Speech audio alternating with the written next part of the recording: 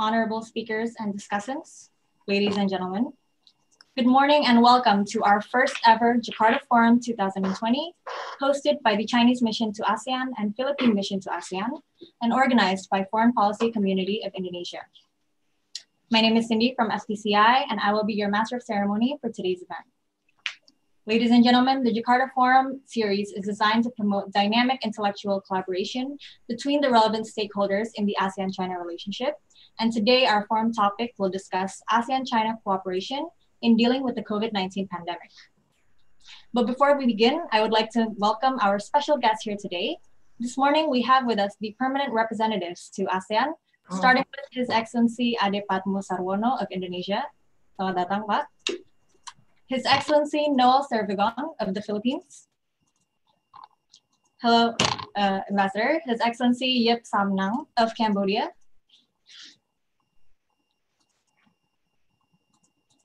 His Excellency Ekkaphab Phanthavong of Laos, His Excellency Kamsiah Kamarudin of Malaysia,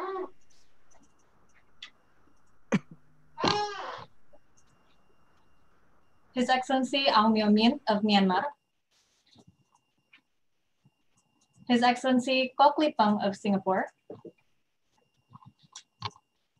His Excellency Pasporn Sangasubana of Thailand,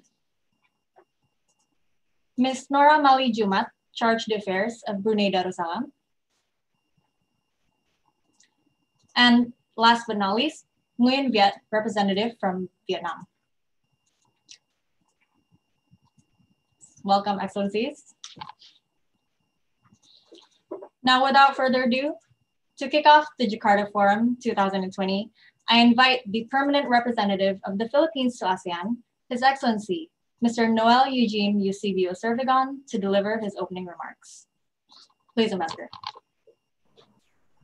His Excellency Phuong Phuoc, Deputy Secretary General for ASEAN Socio-Cultural Community, His Excellency Jose Tavares, Director General of ASEAN Cooperation of the Ministry of Foreign Affairs of Indonesia, Their Excellencies, the Chair and members of the Committee of Permanent Representatives, His Excellency Deng Xijun, Ambassador of China to ASEAN, Dr. Dino Patti Djalal, and our distinguished partners from the Foreign Policy Community of Indonesia, esteemed participants, good morning.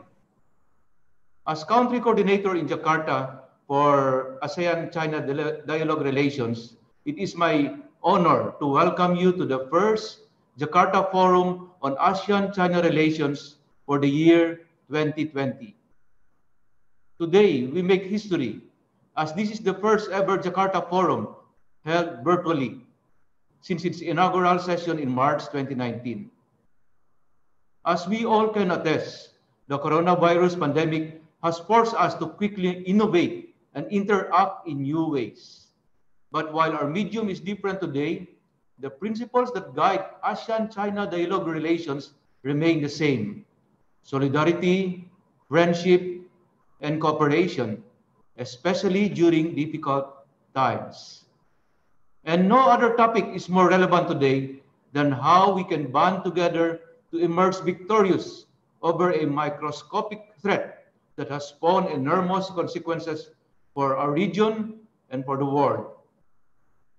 Early on January, we saw the mobilization of existing mechanisms and platforms of the ASEAN health sector together with senior officials of the ASEAN Plus 3 to share critical technical information. This was followed by the meeting of the ASEAN Plus 3 health ministers on February 3. On February 20, the foreign ministers of ASEAN and China met in Vientiane.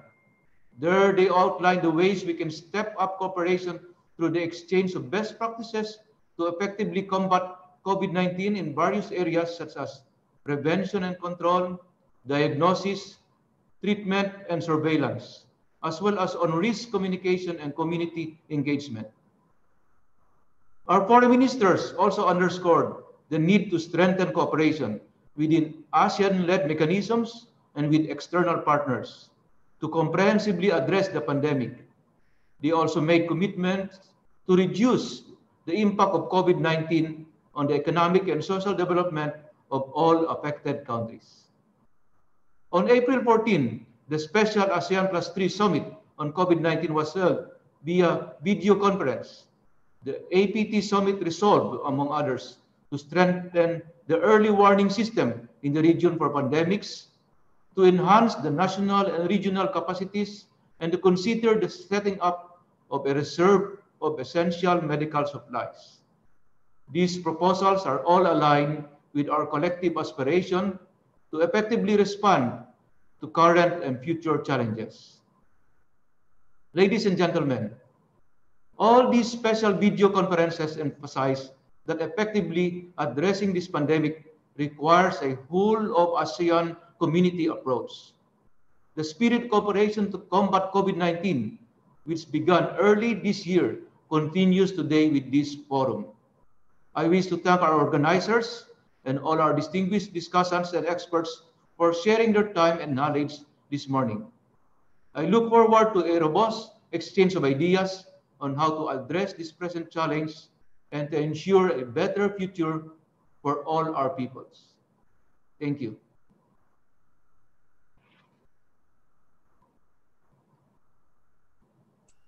Thank you, Ambassador. Ladies and gentlemen, let us now begin today's discussion by inviting our moderator for today's event, co-founder of FPCI and research professor at LIPI, Professor Dewi Fortuna Anwar.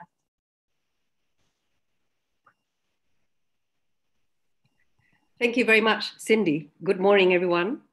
Uh, today, we are going to have uh, a very lively discussions about this ASEAN-China cooperations on how we can overcome and mitigate the uh, various impacts of COVID-19. We are now into uh, the fourth month, actually, uh, of the crisis, and many countries have suffered from lockdowns, large-scale social restrictions, which clearly have really had an impact on both not just the public health sector, but also on the social economic lives of people around the world.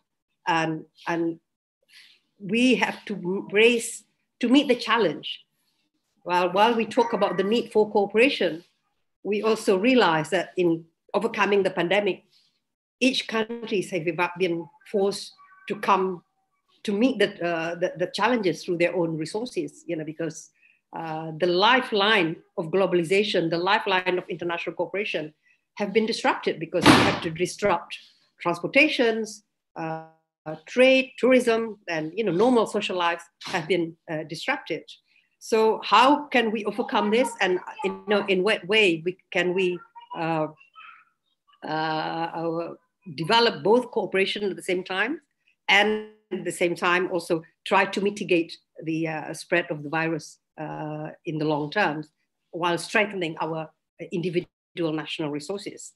Uh, for uh, the speakers today, we have three distinguished ambassadors.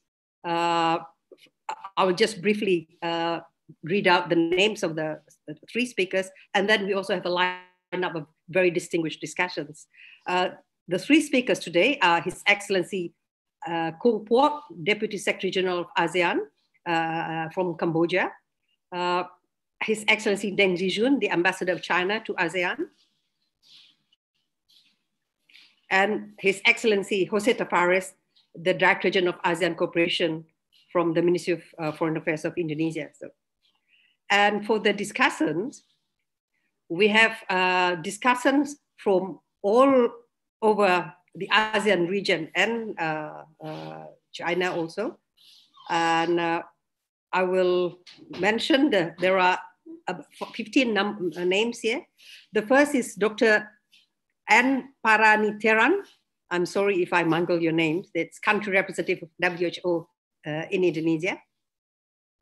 Uh, second is Tan Sri Dr. Jemilah Mahmood, Special Advisor to the Prime Minister of Malaysia on Public Health and former USG at IFRC in Geneva. I think our uh, camera is a bit slow in connecting the name with, with, with, with the face. Uh, Dr. Vannarith Chheang, President of the Asian Vision Institute and Chairman of the Advisory Council of the National Assembly of Cambodia. Dr. Hadi Kunchara, Executive Director of the Habibie Center. Dr. Dinna Prapto Raharja, uh, China Policy Group. Good morning, Pak, uh, Pak Hadi Kunchara. Yeah, uh, Dr. Dinna Prapto Raharja, China Policy Group. Uh, Dinna. Good morning. Good morning. Good morning. Yeah. Uh, Dr. Sofan Albana is going to be late because his neighbor passed away. Then we have Dr. Da Dato Abdul Majid Ahmad Khan, adjunct professor from the Institute of China Studies, University of Malaya. Good morning, Dato. Dr. Dafri Agus Salim, Director of ASEAN Study Center at Universitas Gadjah Mada, Yogyakarta. Where's Dr. Where's Dr. Dafri? Okay, Pak Dafri, good morning. Uh, Dr. Jayant Menon, visiting senior fellow from ISEAS Singapore. Okay. Good Morning, everyone. Good morning, Pak Jayant. Then Dr. Zhang Ji, research and head of security at the Foreign Affairs Department uh, from CAS, Chinese Academy of Social Sciences in Beijing. Good morning. Morning. Uh, Ms. Yang Yu, Associate Professor and Deputy Director, Institute of Asian Studies, China Foreign Affairs. Good morning. Morning. Yeah. Morning. Yeah. Dr. Tang Qifang, Associate Research Fellow, the Department for International and Strategic Studies at China Institute for International Affairs. Are you there? Dr. Tang Qifang? No, we, we don't have visual yet. Miss Lydia Ruddy, Economic Research Institute of for us. Oh, yeah, okay. Miss Lydia, and you are at ERIA in Jakarta. Dr. Henry Chan, visiting research professor at uh, Cambodian Institute for Cooperation and Peace. Welcome. And uh, Ms. Uh, Irene Chan from RSIS in Singapore. Is Irene? Okay, yeah, good morning. So without further ado, uh, I will give the floor to uh, Ambassador Kung Phoak, who is uh, Deputy Secretary General for ASEAN, and he has a very illustrious career uh, in the Cambodian Foreign Ministry. He served as a uh, deputy, currently Deputy Secretary General for uh, ASEAN on Social Cultural Community from 2018 to 2021. Prior to that, he was Under Secretary uh, the State of Office of the Council of Ministers of the Royal Government in Cambodia, co-founder of the uh, Cambodian Strategic Study Group, uh, and you know the floor is yours, Ambassador. Thank you very much. Um, His Excellency Deng Xijun, Chinese Ambassador to ASEAN, uh, His Excellency Noel Servigon, Permanent Representative of the Philippines to ASEAN, his Excellency Jose uh, Tavares, Director General of ASEAN Cooperation, uh, Ministry of Foreign Affairs of Indonesia, uh, Excellencies, members of the Committee of Permanent Representative, and all the uh, discussions, distinguished speakers. A very good morning again. Uh, allow me to uh, first express you know, my condolences and uh, sympathies to the People Republic of China and the rest of ASEAN uh, member states that are currently affected by the COVID-19 uh, pandemic. I would also like to express my appreciation to the permanent mission of the Philippines and the Chinese mission to ASEAN for co-sponsoring the first Jakarta Forum for 2020 under the themes of ASEAN-China cooperation in combating COVID-19 pandemic. Based on the situation report of WHO and the ASEAN Bio Diaspora Virtual Center issues on 28 May uh, 2020, there are currently more than 84,000 confirmed cases and 2,600 deaths reported in ASEAN. The epidemic situation in China has improved in spite of its more than 84,500 cases and 4,600 deaths. Given ASEAN's central and important role in global movements of trade, travel, social exchanges, and health-related initiatives, the impact of this pandemic has certainly caused havoc that is incomparable to what we have experienced so far in this century. It is timely that we have this forum at this period of the pandemic, where in countries and regions globally are in different phases of responses to the impacts of COVID-19. In February 2020, uh, COVID-19 was only declared by the World Health Organization as a public health emergency of global concern. And there were only six ASEAN member states with confirmed cases at the times in the regions. But within the span of three months, this unprecedented crisis rapidly unfolded. COVID-19 has been declared a global pandemic by the WHO on 11 March 2020. Now there are no single ASEAN member state which have been spared from this pandemic. Similar to the situation in China, other regions and other countries globally, the pandemic have severely impacted ASEAN member state public health and their economies, especially in the trade, services, tourism, and travel sector. ASEAN has responded to the COVID-19 pandemic in a timely and cohesive manner by undertaking measures at the bilateral and regional level to sustain a healthy, resilient, and united ASEAN community. This timely response was also made possible with the strengthened cooperation of ASEAN and China in addressing the multifactorial and multi-sectoral effects of this pandemic in the region. The ASEAN health sector at national and regional level responded immediately to the outbreak as early as the first week of January 2020, when China SOMHD and their health counterpart shared the first report of the cluster of pneumonia cases due to this novel coronavirus to the ASEAN Secretariat. The ASEAN health sector responded through its public health emergency mechanisms by mobilizing the ASEAN Emergency Operations Center Network for Public Health Emergencies, ASEAN Biodiaspora Virtual Center for Big Data Analytics and Visualizations, ASEAN Risk Assessment and Risk Communication Centers, and the network of regional public health laboratory, disease surveillance, and health expert on communicable diseases. The ASEAN-China Health Cooperation platforms and mechanism for sharing timely and transparent informations and technical exchanges were likewise mobilized and sustained until this day. Following the participation of China Health focal points at the ASEAN Plus 3 SOMHD special video conference and following the ASEAN-China Foreign Minister special meetings on COVID-19 in February 2020, China has provided regional and bilateral support to several ASEAN member states this include, among others, the regular sharing of technical information, guidelines and protocol for the detection and treatment of COVID-19. The provision of medical supplies such as protective personal equipment and test kit and technical changes among health experts. This type of cooperation provided through the China Health Colleague have been value, uh, valuably uh, utilized by health counterparts in ASEAN. At the higher level within the ASEAN health sector, the China health sector supported the commitment in the joint statement on enhancing cooperation in COVID-19 response, together with health minister from other plus three countries and ASEAN member state on 7 April 2020. Excellency, distinguished representative. As COVID-19 continues to assist our regional agenda, our leaders have reaffirmed the commitment in the fight against COVID-19 and in strengthening the coordination of national and regional efforts in ensuring ASEAN readiness and response responsive measure to mitigate and eliminate the threat of COVID-19. To follow up on this commitment, the ASEAN Coordinating Council agreed to set up the ACC Working Group on Public Health Emergency, WGPHE. Subsequently, on 31st March 2020, the ACCWG on PHE met, led by the senior official meeting chair and involving relevant sectoral body from across three pillars, including the sectors of health, foreign affairs, information, defense, immigrations, and finance. A set of recommendations were put up to mitigate the far-reaching adverse impact of COVID-19 in all aspects of life and later approved by the ACC. At the special ASEAN Plus 3 Summit on COVID-19 on 14 April 2020, the China leader, together with the rest of the leaders of ASEAN and other plus three countries, reaffirmed the commitment to strengthen solidarity, and enhance cooperation and mutual support among the ASEAN plus three countries to control and contain the spread of the pandemic and address its adverse impact on our societies and economies. ASEAN response to the pandemic can only be more effective if done in partnership with relevant sectors within ASEAN and with development and dialogue partners such as China.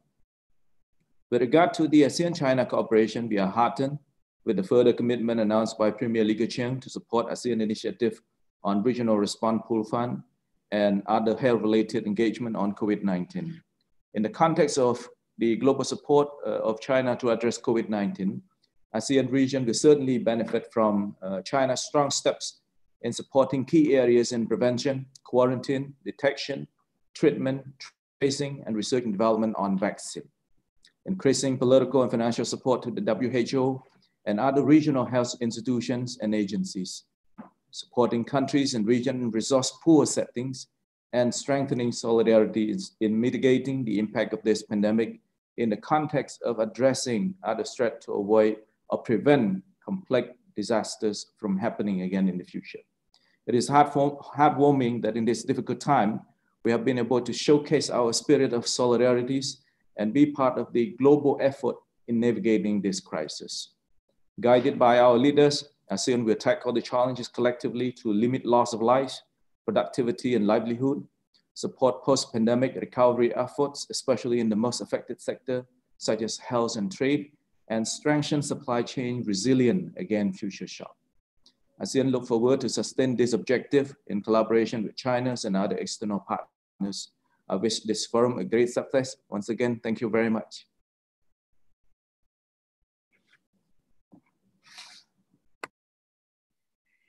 Thank you very much, Ambassador Kung Phoak, uh, for that uh, uh, excellent presentation and, and that uh, heartening endorsement of the uh, strength of cooperation between ASEAN uh, and China. I'm sure that we'll have further discussion about this, whether, you know, whether in what areas we can improve our cooperation further. But now I would like to invite His Excellency Deng Xijun, the Ambassador of China to ASEAN, former Formerly, uh, Ambassador Deng was special envoy uh, on the Afghan affairs from, from 2015 to 2020.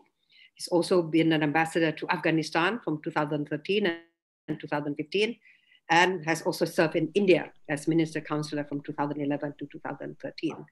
Uh, so is very, very well informed uh, in uh, Asia, but now uh, he's ambassador to ASEAN, uh, and I will give you the floor for 15 minutes. Thank you. Excellency Deputy Secretary General Kung Phoak, Excellency Director General Jose Tavares, Excellency Ambassador Noel and other permanent representatives of ASEAN countries, Excellency Dr. Dino Djalal, dear professors and friends, good morning. I'm happy to see you again via video link, and I welcome all of you to the first Jakarta Forum in 2020. As Ambassador Noel rightly recalled, five Jakarta Forums have been held since its inception last year. The inspiring exchanges have contributed fresh wisdom to cooperation between China and ASEAN and in East Asia as a whole. Nothing else tops the agenda of regional cooperation today than the need to defeat COVID-19, uphold stability, and restore growth to our region. We are meeting at a time when China and ASEAN have had very productive cooperation against the virus. This has made our workshop all the more relevant as we will review successful experience, address deficiencies, and explore ways of deepening cooperation to take our region out of crisis. As close neighbors connected by mountains and rivers, China and ASEAN countries enjoy the fine tradition of mutual assistance in times of difficulties. Since the beginning of our dialogue relations in 1991, we have worked together to turn the tide over major crises, such as the Asian and international financial crisis, the SARS and avian influenza. We have offered each other enormous help and support in devastating natural disasters, such as the Indian Ocean tsunami and the Wenchuan earthquake. Each crisis has led to closer ties and stronger cooperation between us and demonstrated our extraordinary friendship and deep mutual trust our valuable experience of jointly tackling crisis and the mechanisms for enhancing emergency preparedness have drawn us closer to each other as neighbors and partners. The pandemic has been raging globally with escalating impact, which has gravely threatened the life and health of the Chinese and ASEAN peoples this common challenge once again reveals the interconnectedness of China and ASEAN. In response, our two sides have extended each other mutual support and conducted close cooperation. our solidarity and coordination are moving us toward a stronger China-ASEAN community with a shared future. In this regard, I wish to highlight some of our collective endeavors. First, policy and technology communication has been intensified. President Xi Jinping, Premier Li Keqiang, and the State Councilor and Foreign Minister Wang Yi talked frequently over phone with their ASEAN counterparts. The health authorities of both sides have maintained hotline exchanges of the latest developments and information.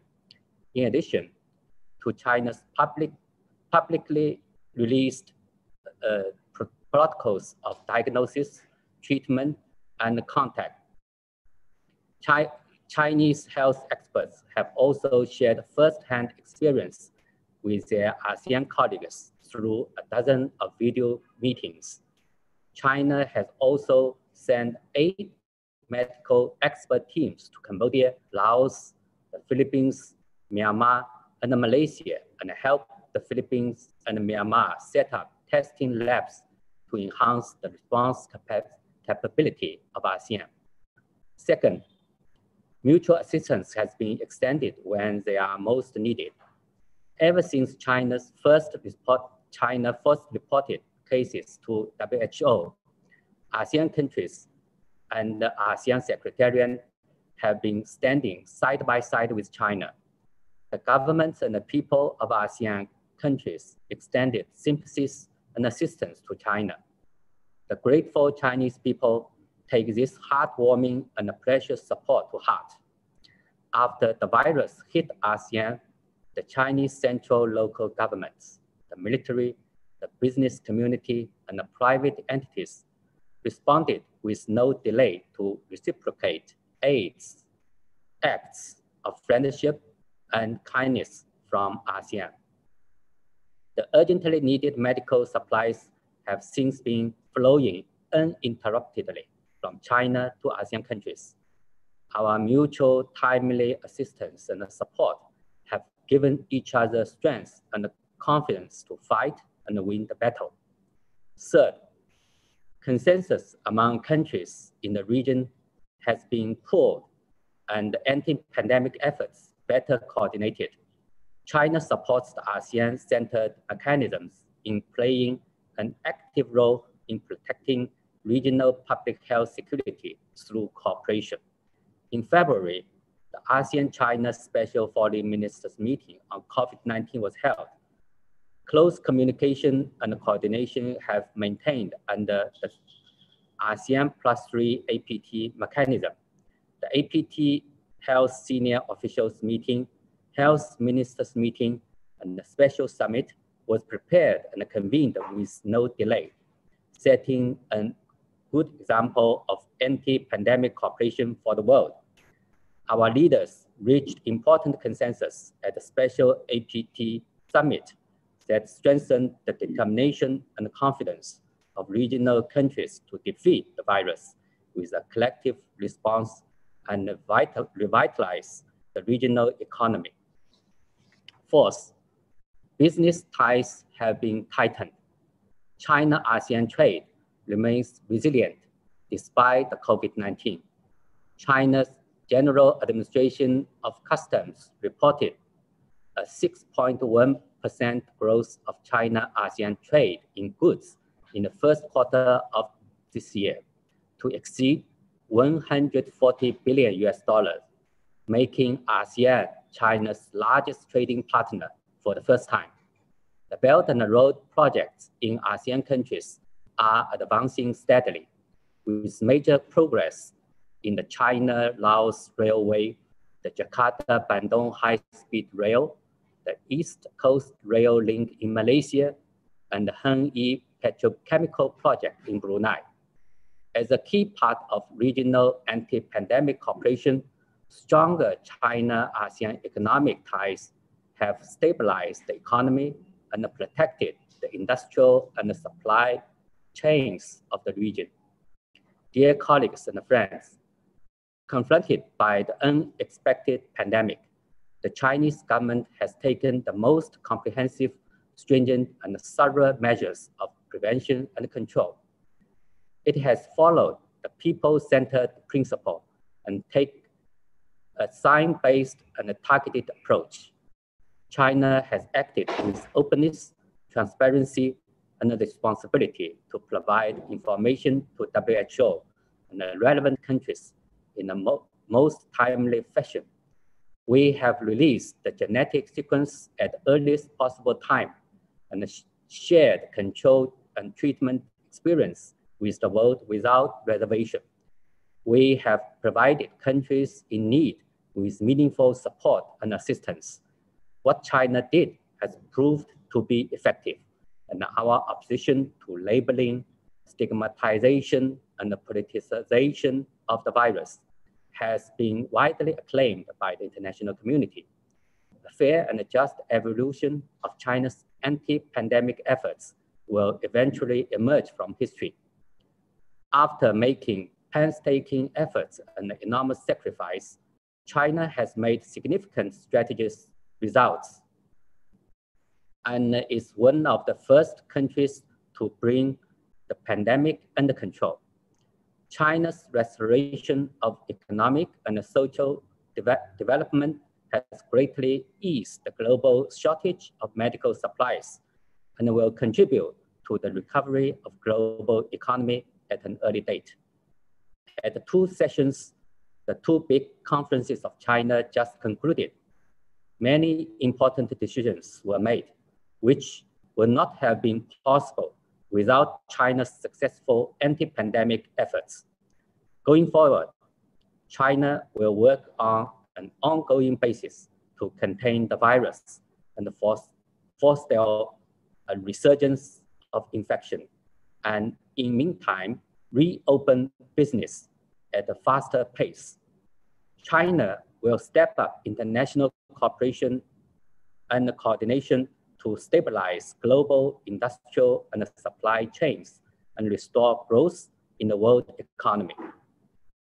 China is also happy to see that the control measures in ASEAN is producing good results and that ASEAN has turned out to be in a better shape than other regions in the world. This is attributable to the hard work of ASEAN governments and people. China commends the governments of ASEAN countries for implementing timely, stringent control measures and economic stimulus policies. We also appreciate the leadership of Vietnam as ASEAN chair for strengthening ASEAN unity and coordination against COVID-19. Recently, the situation in ASEAN countries is better off on the whole with rising recovery rates and no new transmissions for days in nearly half of its member states. This improvement has laid a solid foundation for the gradual resumption of economic and social development in ASEAN. Dear colleagues and friends, as the virus is still raging, the global fight against COVID-19 is at a critical moment.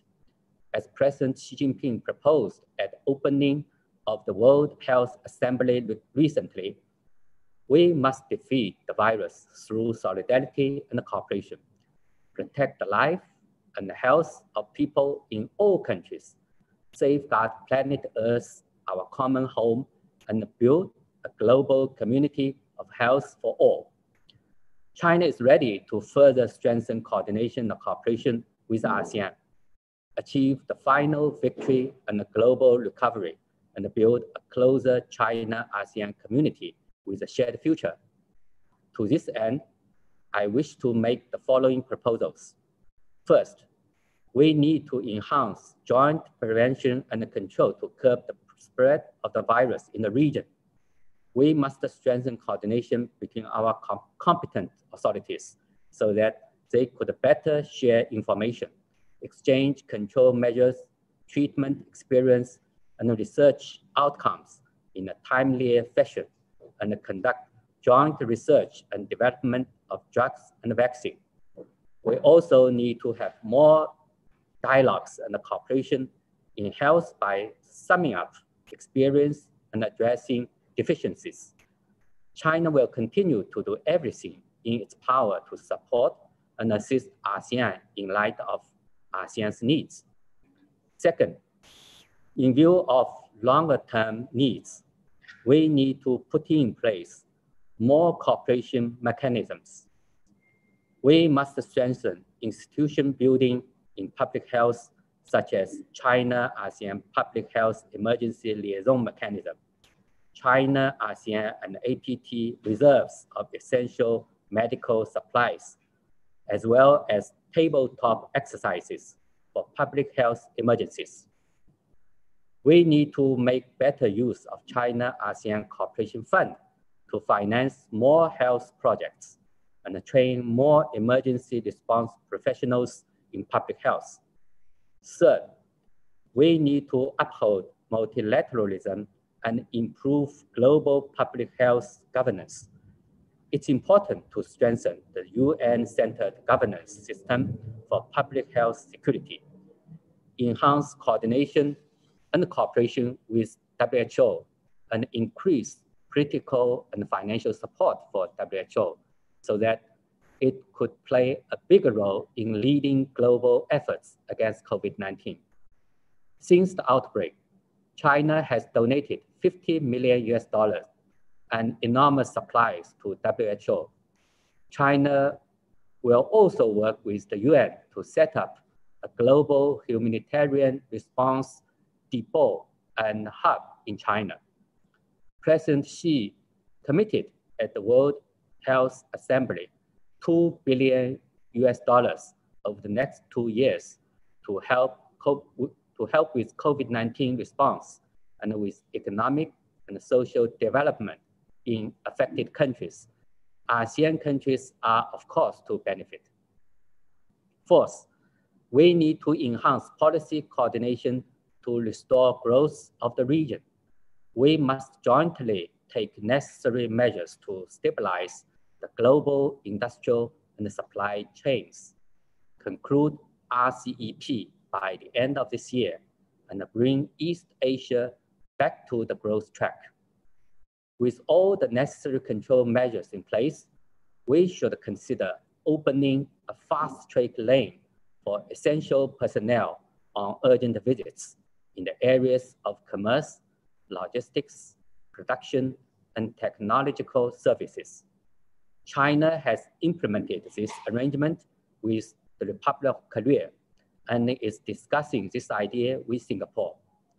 In view, in view of the post-pandemic era, we must advance cooperation in e-commerce, health and medical care, smart manufacturing, big data, and 5G to foster new drivers of growth.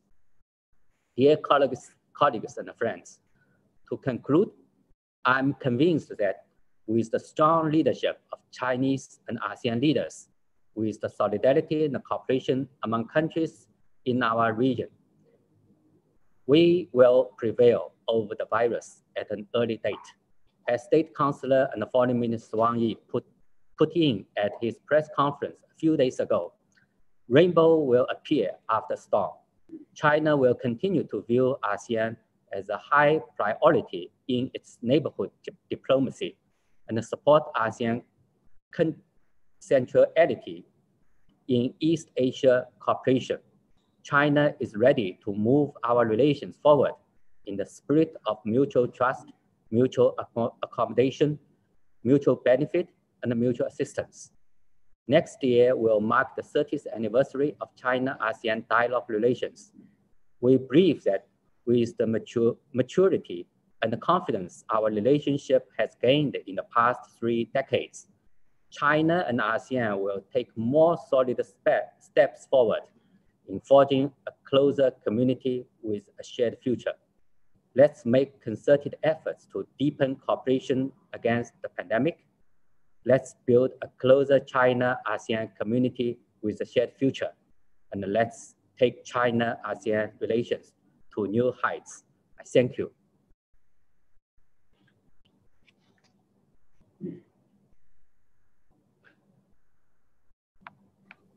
Thank you very much, Ambassador Deng, uh, for that very uh, illuminating and very comprehensive uh, discussions about uh, what China has been doing and also the, uh, the very strong cooperation between ASEAN and China. One of the most important uh, remark that you made is actually that from every crisis, our relations, countries have grown stronger and also the relations between ASEAN and China have also grown stronger. So crises have tested us. It either make us or it makes us stronger. And, uh, and in your presentation, you've uh, very convincingly uh, uh, uh given very convincing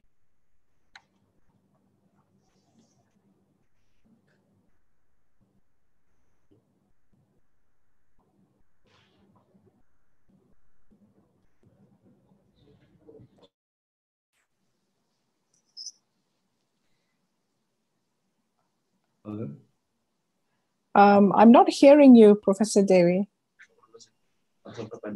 Yes. Uh, for the next speaker, I think we can move on to uh, His Excellency Ambassador Jose Tavares. Uh, well, thank you very much. Uh, uh, I, first of all, I'd like to thank uh, Professor Dewi Fortuna Anwar for moderating today's virtual forum. Uh, I'd like to extend my appreciation to my friend uh, Dino Patti Djalal for inviting me to share my views on this very important theme, ASEAN-China cooperation in dealing with uh, uh, COVID-19 pandemic. Uh, distinguished ambassadors, uh, permanent representatives, colleagues, discussants, the Deputy Secretary General of ASEAN, Kung Phoak, and Ambassador Deng Xijun, as well as Ambassador Noel, uh, have uh, extensively elaborating uh, on the cooperation between ASEAN and China in dealing with COVID-19. So everything has been said already. So I, I wish to add a few points that ASEAN and China have a strong cooperation uh, uh, Uh, strong engagement uh, to jointly address the uh, COVID-19 uh, uh, pandemic uh, since the very beginning. Uh, a number of virtual meetings and consultations has already been alluded to by the previous speakers. and I just want to mention a few things. for example, the special ASEAN-China Foreign Ministers meeting on COVID-19 held on 20, 20th February in Vientiane and follow up by the special video conference on ASEAN-China health experts on the same day, actually. Uh, step up cooperation in the region against COVID-19 by sharing information, strengthen cooperation in risk communication and community engagement, readiness and response, strengthen policy dialogue and exchanges on the latest development of COVID-19, including control and treatment, ASEAN and China continue to strengthen our cooperation to mitigate the COVID-19 pandemic, including uh, in the socio-economic uh, aspect, uh, exchange of real-time information, best practices and experiences, assisting one another uh, where we can with uh, food and medical supplies. besides ASEAN and China, there is also ASEAN uh, plus three cooperation that, of course, China is is uh, part of, uh, and we have uh, as well a, number of virtual meetings, ASEAN Plus 3 Special Summit on the 14th of April, ASEAN Plus 3 Health Ministers Meeting on the 7th of April and a special video conference on ASEAN Plus 3 senior officials health development. Uh, so I would like to, I don't want to repeat what they have said, otherwise uh, colleagues will be really bored of this. Now, now, I want to say that regionally, in generally ASEAN member states, uh, we talk about ASEAN member states as well as ASEAN and dialogue partners, ASEAN member states are collaborating and assisting one another in the provision of essential medical supplies and equipment. Uh, easing the regulations, uh, we have committed to easing the regulations uh, for those essential supplies and gradually to ensure continued flows of, of those uh, uh, essential goods. Mutual assistance uh, to ASEAN nationals in ASEAN region as well as in third countries. We have guidelines established for that and it is ASEAN is helping one, one another. Uh, including the migrant workers. Uh, we have, uh, in the context of ASEAN plus three, we have the ASEAN plus three emergency rice reserve. Right now we have 778 thousand uh, uh, tons of uh, metric cubic tons of rice of rice standby uh, standby to be ready to be used if, in case uh, necessary in case it's demanded by ASEAN plus three uh, member countries. And there is also standby uh, Chiang Mai initiative multilateralization. So because of the COVID-19 have a vast uh, ramification, vast impact on various uh, uh, livelihood, economic, social, economic aspects of, of uh, people in the region. The Chiang Mai initiative multilateralization, in fact, have 250 billion US dollars ready to assist member states in any case it's needed. So all of these are in place and ASEAN also, as a result of our uh, engagement with China, with the ASEAN plus three countries, and with, with other dialogue partners, uh, uh, we have uh, established, uh, for example, we are in the process of establishing a regional reserve, regional reserve for medical supplies, finalizing the establishment of COVID-19 ASEAN Response Fund, establishing an ASEAN Center for Disease Control and Prevention, and also, as I mentioned before, reserve of essential medical supplies and includes a warehouse to be managed by the ASEAN Coordinating Center for Humanitarian Assistance. Now, ASEAN is mobilizing collaboration and support from partners around the world. Uh, hotline communication among health experts, sharing best practices. Uh, for example, uh, I mean, we are talking about uh, ASEAN and China that has already provided a lot of assistance and uh, uh, to, towards one another. And as well as uh, we have, for example, the European Union as well as is, is offering support to ASEAN with 350 million euros. And also Japan is supporting the establishment of ASEAN Center for Disease and Prevention Control, the CDC uh, in ASEAN uh, region. ASEAN plus three, for example, is, is supporting the establishment of ASEAN COVID-19 response fund. That's already been mentioned uh, by uh, Ambassador Deng. And uh, also, as, as already been mentioned, also we are exploring the possibility of a joint production, joint production in uh, medicines and vaccines when it is found. So Indonesia, in this case, is also ready for the joint production uh, in order to have this uh, production of medicine or, or vaccines uh, massively, I guess, because it's global, uh, so that it can be affordable and accessible by all of the citizens uh, in our region and beyond. So Indonesia alone, let me tell you that Indonesia alone has garnered about 111 supports. these including from governments, uh, from 88 non-governmental organizations and 12 uh, uh, international organizations.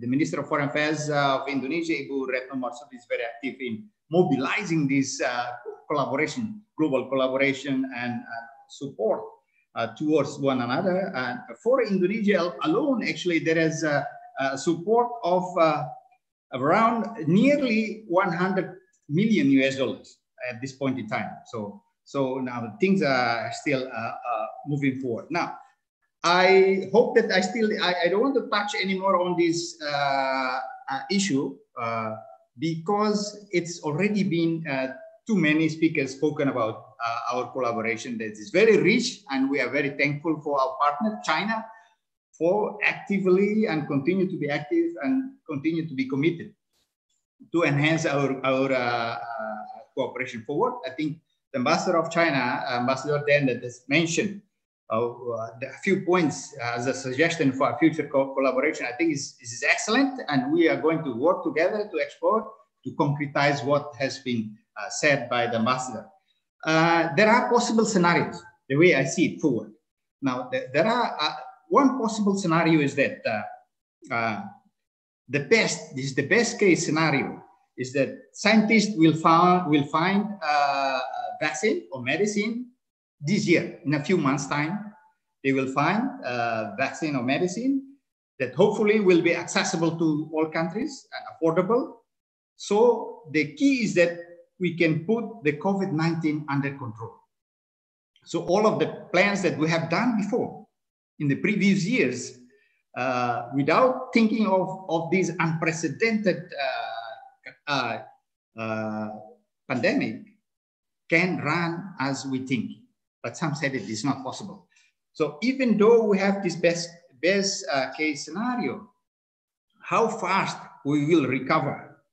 Uh, as we have seen, uh, I have here already uh, the Deputy Secretary General saying that uh, ASEAN region has, has been impacted uh, uh, heavily on tourism, investment, Uh, even trade, even though the Master of China, of China said that uh, there is an increasing uh, growth of trade by 6.1%, which is, this is really amazing.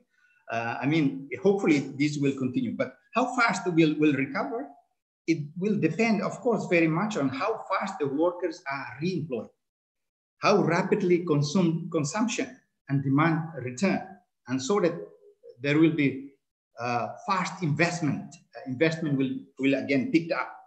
Now, the question is how normal it will be under this best case scenario. Now, some say that it will never be the same again even the, the vaccine will be found uh, in a few month, months time this year. Uh, it will take months, even uh, years to produce massively and to make it uh, readily available to all countries. Many people will continue to, to be out of, of work.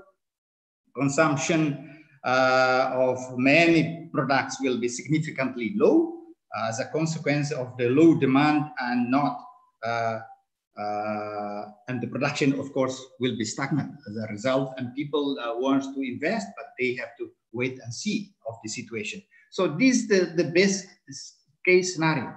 So I guess the new normal, uh, even in the best case scenario, will continue to be applied and see how long it will uh, it will uh, affect uh, or will recover from from this situation. Now the second scenario that I see is the worst case scenario, is that there is no vaccine or medicine found until next year, and it can be a second or third wave. God willing, this is not going to happen, but there is a great possibility. Uh, looking at people are coming uh, together again and, and, in various countries, uh, then countries will continue to undertake massive testing. Those infected of the virus will be put under quarantine uh, we have to apply stricter uh, protocols and social distancing, and we have to actually mapping out which, which are the green area, yellow area, or red, red zone.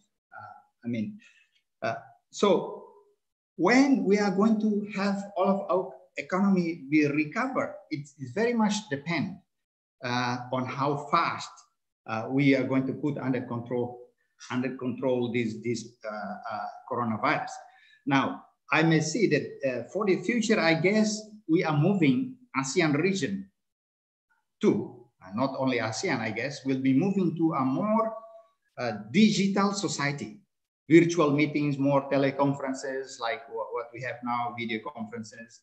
Many will be continue working from home, will be applying more flexi working space and flexi time system. And uh, ASEAN, I guess, will be moving, moving faster. I think this, this kind of situation will boost a digital economy in ASEAN. So e-commerce will be further expanded, online marketing, e-promotion, ASEAN single window. So eventually we'll becoming less social beings and becoming more digital beings. I rather stop here because I think everything has been covered uh, eh, on the on the theme of ASEAN and China cooperation dealing with COVID-19. So thank you very much.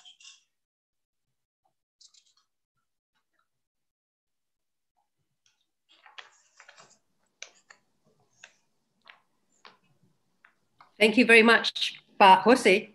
My uh, sincere apology for uh, uh, disappearing shortly while, while introducing Pa Jose because Wi-Fi problem. And um, on, on the note that we are going to become less social being and more digital being, uh, that so be uh, the new normal. There probably not, it will not be between best case scenario or worst case scenario, but will be in the middle where we really will probably do uh, uh, a real transformation of our society and our economy, and there'll be winners and losers. uh, in this. Um, I would, uh, I've already uh, reminded all the discussants earlier that you need to raise your hand for coming in the interventions. And I already have, we have 80 minutes for discussions and I already have three uh, interventions. Uh, Dr. Jemilah, Special Advisor to Malaysian uh, uh, Prime Minister, and then Dr. Parani from WHO, and then Dr. Dinna. So Dr. Jemilah, floor is yours. Thank you very much. Uh, Assalamu alaikum. Good morning, everyone.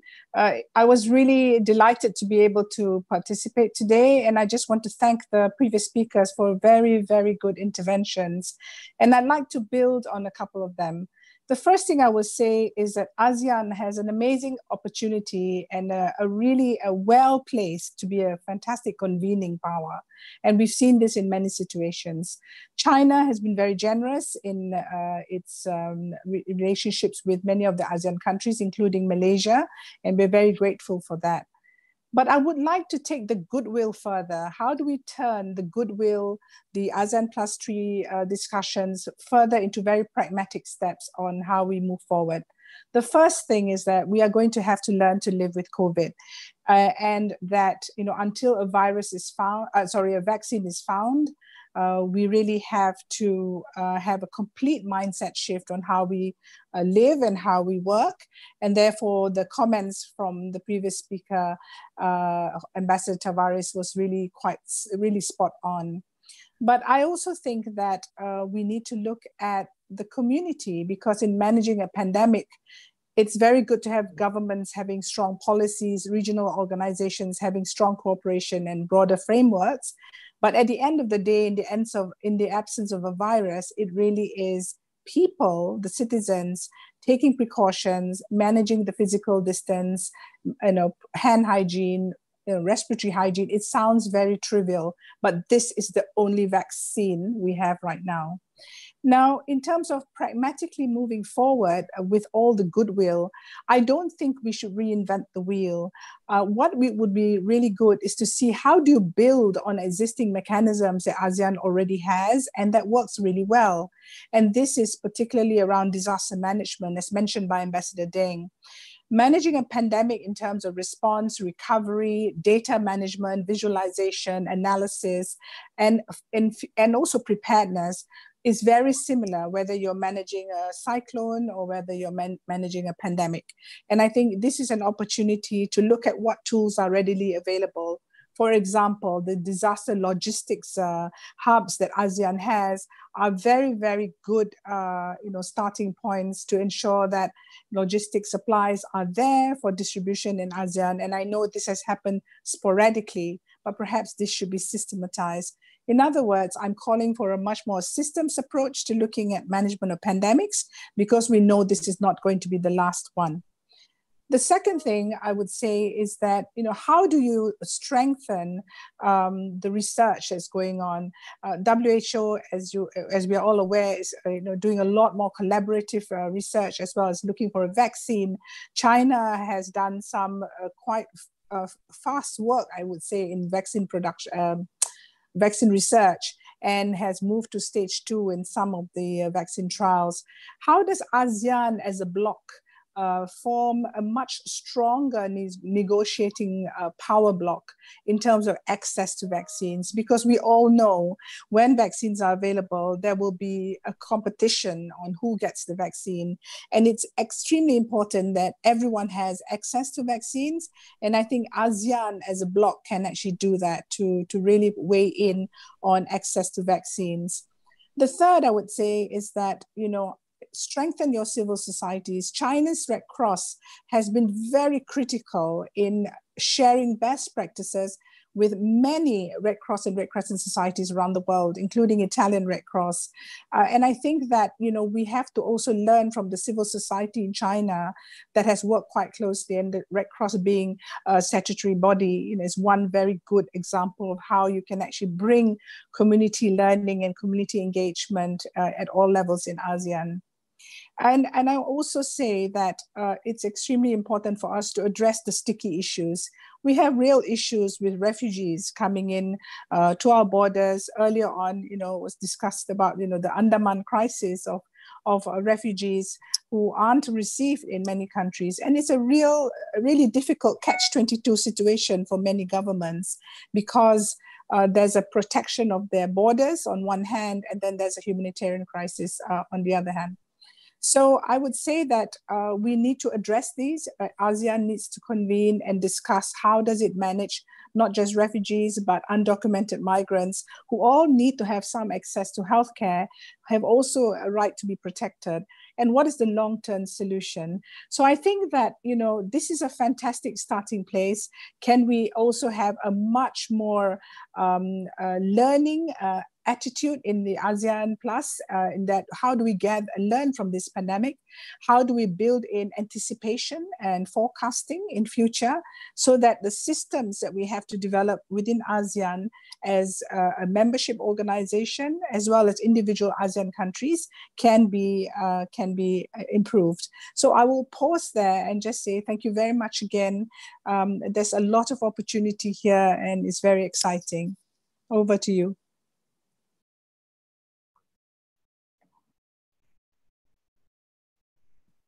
Thank you, Ibu.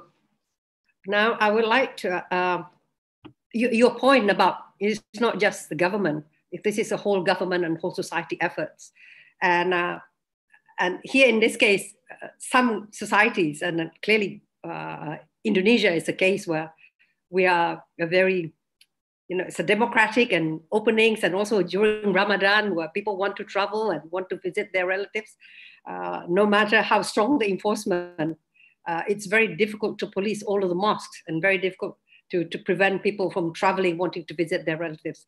Uh, they are not afraid, you know, uh, of, of, virus. So this is this is this is a challenge, and also uh, uh, in, in in many cases, uh, the challenges is this is both economics and and religious. for the economics one, in many many cases, those who have lost their jobs and those who do not have regular income, you know, they feel that they have no choice either to die of virus or to die of starvation. Uh, uh, uh, this is a challenge that also you know we, we need to address. How how do ASEAN countries deal with this? Where like in Indonesia the large the large sector of our economy is actually in the informal sector. People do not have regular job. Uh, and then the religious factors where they feel that you know do do so to the to the faith they uh, they they want to congregate in mosques in churches and, and so on. And, and they are less afraid of the state uh, uh, in this case. Um, but uh, so I hope somebody will follow that, that, that, that issues later on as well, the, the, issues of the economic imperatives, the shorter imperatives versus public health imperative. Now I'd like uh, to invite uh, Dr. Parani. Uh, the floor is yours. Thank you, Professor Dewi. Uh, good morning, colleagues, excellencies, ladies and gentlemen, uh, and thank you for Foreign Policy Community Indonesia for organizing such an important topic for this Jakarta Forum. Um, uh, one thing I want to say at the outset is that um, I think it's not about what we are learning for the next pandemic. Uh, I think what is important is what we are learning for this pandemic, uh, because this is only the beginning and we still have a long way to go. And we are building the ship as we sail. And, and, and that's a very unique feature in, in this whole pandemic response globally. Thank you for the presenters for, for framing the discussion and, and Dr. Jemilah for the excellent points. Uh, let me build up on two points that, that have come up here. Uh, one is when we talk about uh, ASEAN cooperation, supplies and others you have discussed and covered well. I want to take it to the next level. Uh, see, one of the problems that we faced in this pandemic is that Normally, you have a tsunami or another emergency. It affects a few countries in a region or globally in a few countries or a region. We manage to bring surge and additional capacity from other parts of the world and manage to mount uh, an appropriate response. This pandemic now affects almost all the countries. There's very little surge capacity available from one country to go and support another country at all. So countries are struggling with that.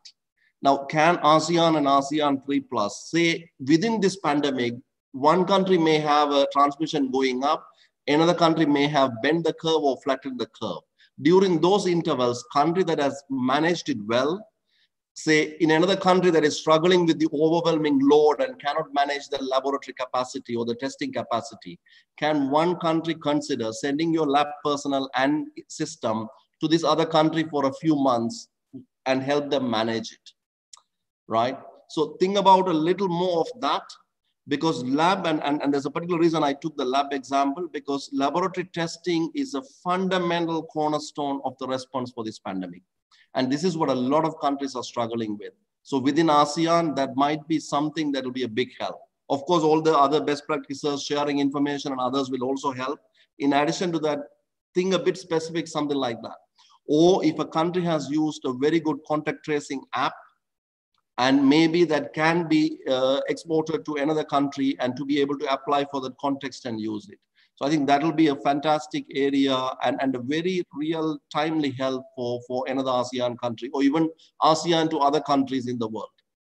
Uh, a second point, we have talked a lot about vaccines and treatments. So today at 5 p.m. in Geneva time, uh, Costa Rica government and WHO is launching a solidarity call to action uh, and it is co-sponsored by a number of countries, including uh, at least as of two days back, we have Malaysia and Indonesia as two ASEAN countries who are co-sponsoring this solidarity call to action.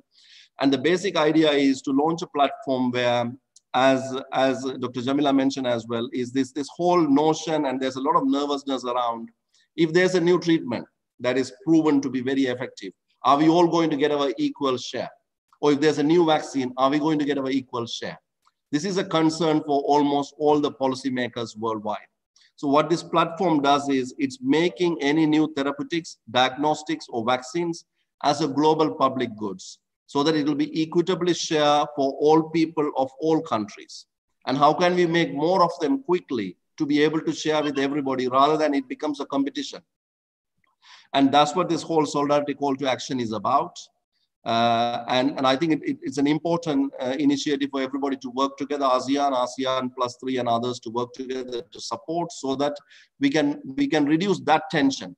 And that creates a lot of unhealthy uh, conflicts uh, among countries uh, eventually and, and, and unnecessary tension politically as well. Uh, so this is, this is another relevant initiative to share the vaccines and treatments and others.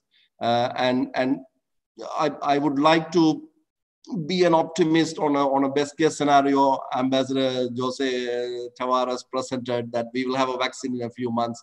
Unfortunately, Ambassador, uh, being a realist, I think it's going to take at least a year or more uh, until we have a reliable vaccine. So we have to learn to live with this new normal.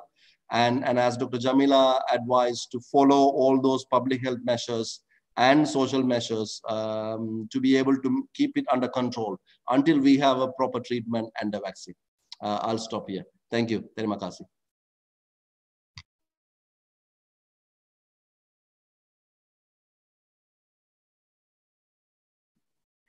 Thank you very much, uh, Dr. Parani. Uh, hopefully, the, um, the, the three officials later on will also be able uh, to come back and, uh, and address some of the issues that have been raised by uh, Ibu Jemilah and also Dr. Parani.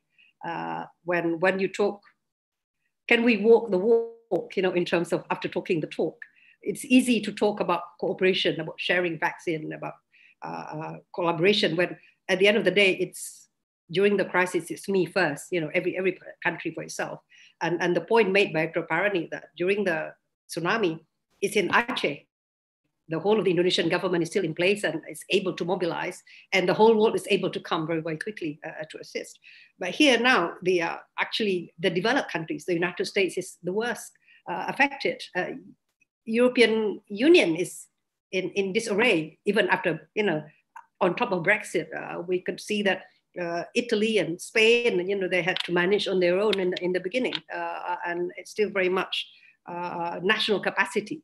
And uh, I hope that uh, some of the uh, discussants who are, are, experts, you know, can reflect on, on, on these issues also when we talk about, on the one hand, the global pandemic, it's global, it's transnational, and, and of course we'll say, you know, the only way to go forward will be to work together because no single country will be able uh, to deal with this on, on their own.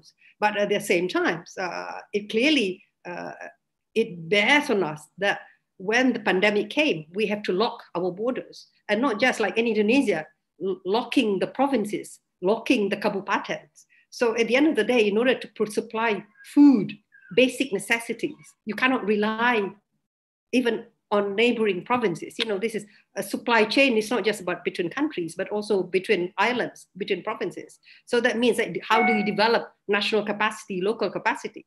And how, you know, how do they, how do we align between international cooperation and de developing this, this uh, uh, uh, uh autonomy uh, for survival in, the, in the new normal era? So now I would like to call on Ibu Dinna, Dr. Dinna. yeah, okay. Silakan. Okay.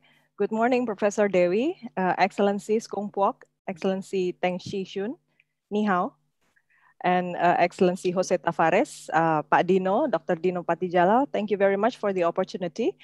Uh, thank you for the uh, very enlightening discussion this morning uh, and the assurances that the spirit of cooperation will always be advanced uh, between ASEAN and China. Uh, I think this is not just current period, but also post-COVID time will be very important.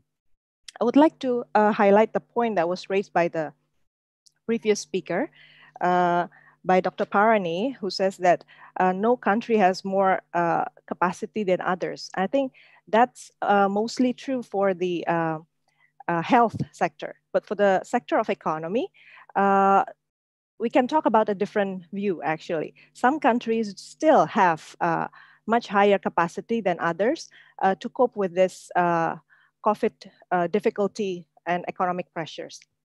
And I think one thing we cannot uh, escape, I think, at least in my view, I cannot escape, uh, this cannot escape my attention, that uh, the background of this was the, and still is, the trade war between China and the US. And I think in this kind of circumstance, if we look at the currency reserve of uh, countries around the world, uh, the US is still uh, badly affected, and um, China is relatively much better than everybody else. So, uh, in the short run, I think the US will still try to come after China surplus in trade balance, and this will somehow affect China options on what to import. You do uh, want to limit your uh, buying capacity as well. And there has been indication that China can drop buying products from some countries and some uh, economies are sent in sudden limbo because of that sudden change. So uh, my question to Ambassador uh, Deng Xijun and also to uh, ASEAN policy leaders here is what does um, China and ASEAN plan to do to mitigate the worst consequence of this ongoing war? Uh, the limited buying capacity, and yet you still have to maintain this cooperation between us. The second question is about the global value chain that uh, if you notice, a lot of the uh, manufacturing capacity in the world is now based in China, or at least um, the assembling uh, activity is in China. So uh, a lot of other countries, especially uh, in ASEAN, we rely a lot on uh, service sector, which is badly affected by this COVID. We cannot run uh, we, at least we have yet found the new normal for this. Tourism, trade in general, uh, meeting, you know, it's, it's having badly affected. So how do we ensure that manufacturing opportunity is also shared among these middle income countries? We in ASEAN is among the best buying, purchasing community with purchasing power in the world. So we may not qualify uh, for a long run for uh, help, uh, global help in terms of economic help, but we do have the capacity to manufacture products. So the third point is very relevant to this. In ASEAN, you have uh, hosted activities uh, between businesses, business to business cooperation. And you notice that the statements from WHO maybe uh, may send a different impact as well to the business communities. They adjusted quickly into creating a contract ba contract based uh, cooperation yeah uh, with with their workers instead of uh, uh, a very clear uh, hiring opportunity they make it so so so uncertain the economy that they, they should hire only on very short-term basis. And so a lot of workers nowadays in, in Indonesia, in ASEAN, is, is in limbo. The government and especially the local governments is now sent to, uh, to think about what to do with the social protection because none of these people are uh, either uh, rich enough to take care of their own uh, self with that, that kind of short contract uh, work.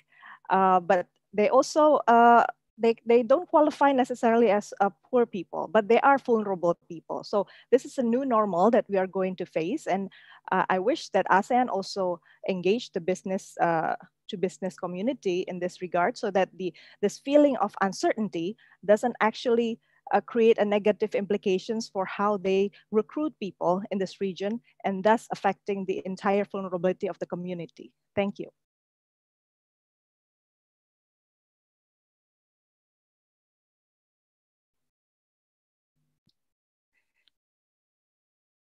Okay, thank you very much, Dr. Dinna.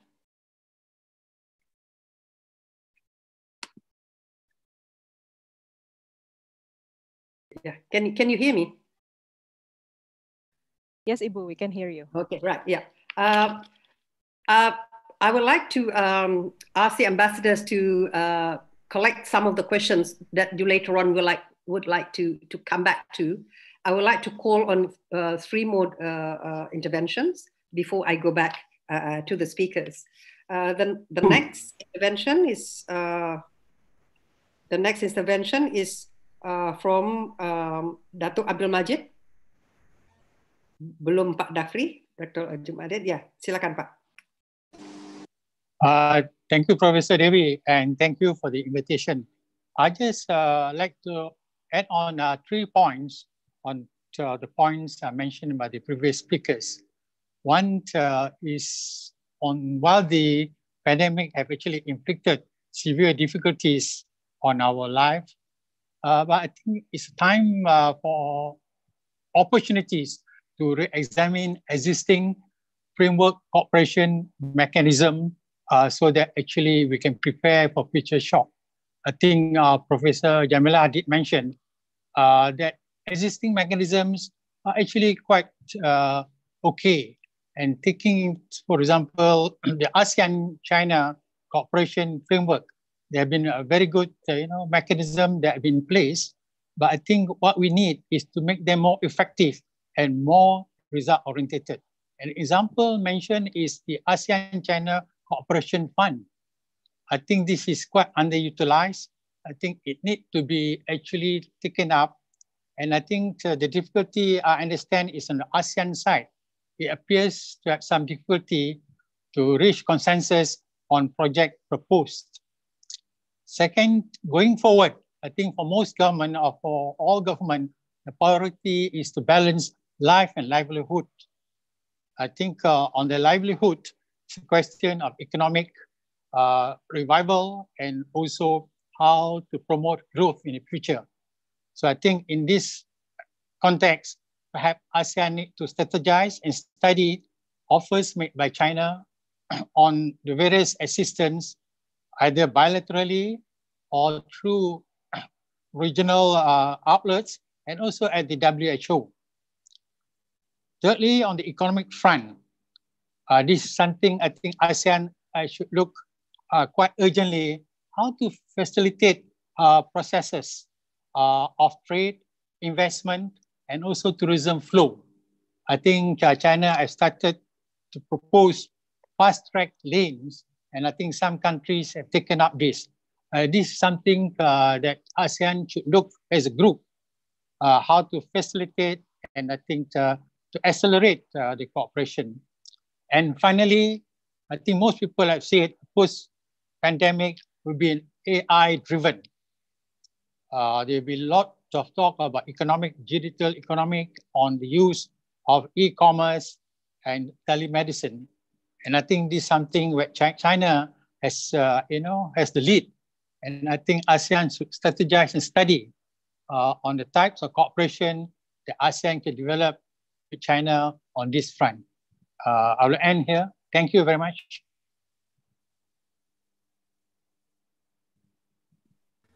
Thank you very much, uh, Dr. Abdul Majid. Yeah.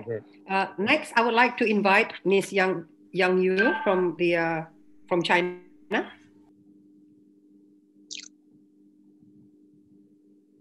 Yeah. Yeah, right. All right. Can you hear me? Yes. yes. Okay, good. Um, thank you, Professor Dewi, and good morning, colleagues and excellencies.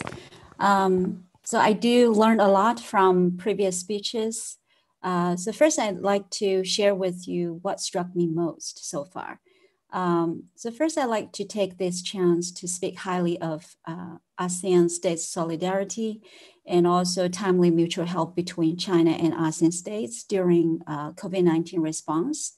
I think the biggest gain learned from pandemic for uh, both sides is that we share the same culture uh, with people as the center and we respect science and professional recommendations and adopt people-oriented approach against coronavirus. And we value people's life most and multilateral cooperation and coordination. Uh, I think all these will be valuable assets and solid foundation for our future cooperation. And second, this pandemic also uh, witnessed great resilience of economic and trade ties between both sides. As previous speakers said, uh, ASEAN became the largest trading partner of China. So this is historic and in my view, attributed largely to protocol on upgrading uh, ASEAN-China FTA having come into force last year. So I think we need to maintain this momentum and uh, RCEP needs to be signed as scheduled this year to further promote regional economic integration. So based on uh, the information I get today about the development of ASEAN-China relations uh, during pandemic and also my own observations in previous month, I strongly believe uh, post-pandemic era will see much even uh, closer ASEAN-China relations. And as Professor Dewi also mentioned this previously, it's exactly what we have seen right before about uh, the trend of ASEAN-China relations after we worked together to tide over the crisis such as SARS and also uh, financial crisis. And also in addition to cooperation proposals pre previously put forward by speakers and also officials, which I highly appreciate, for example, uh, share of vaccine. I think China has already, um, as President Xi Jinping said uh, in his uh, address at the WHO conference, uh, China uh, would like to share the vaccine as a global uh, a public goods uh, contributed to the global community. Um, so in addition to that, I also want to share my thoughts on our future cooperation, especially seizing uh, the opportunities of COVID-19 to strengthen our cooperation. Um, I think first and foremost, some speakers have also already mentioned, what is urgent for both sides for the time being to work together is to enhance cooperation on safely reopening. As we all know, China has already reopened and some ASEAN states uh, maybe are preparing to reopen. So we need to work on this, especially in the new normal of coexistence with coronavirus. Uh, we need to increase information and experience sharing on measures and plans to safely reopen. For example, in China, we're now using a health QR code as a kind of proof of uh, health status of a person. And I think it's helpful for tracing. And to reopen, uh, as previous speakers said, every country needs to improve capabilities of testing and tracing, which is cornerstone for uh, COVID-19 fight. Uh, so we need to uh, enhance the cooperation on this. And also, I think government and business in every country also need to work together to guarantee the safe reopening. Uh, for example, in China now, um, government and business, they, they discuss uh, how to reopen, right? For example, for the restaurants, how to set up the tables even in the proper distance in the restaurant to guarantee the diner's health.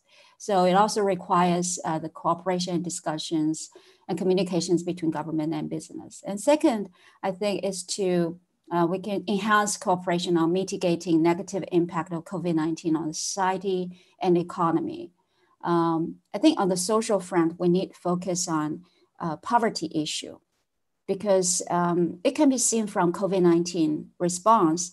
It's really hard for countries with high poverty rate uh, to implement strict self-quarantine since people living under poverty line or close to poverty line, uh, they badly need to keep working to survive. And also COVID-19, like in China, they, they do, it does make some people return to poverty.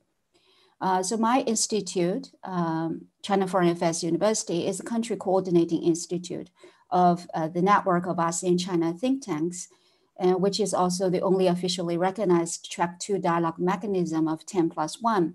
And we launched a working group study on poverty reduction uh, during pandemic by sharing best domestic practices and we also plan to hold a video conference in the upcoming month and publish our research outcome as well. So um, I think one of the practices in China to help people uh, lift people out of poverty is with the assistance of e-commerce, that is e-commerce assisted poverty reduction. And it is been proved to be very effective during pandemic. And hopefully uh, this can be replicated in some ASEAN countries. And on economic front, um, in my view, I think cooperation on digital technology and economy should be prioritized. Um, amid the pandemic in China, the digital economy uh, played very important role in ensuring consumption and employment and also promoting uh, resumption of production. And as, as is known to all, the digital technology has also been applied in COVID-19 response, right? Such as tracing and long distance diagnosis.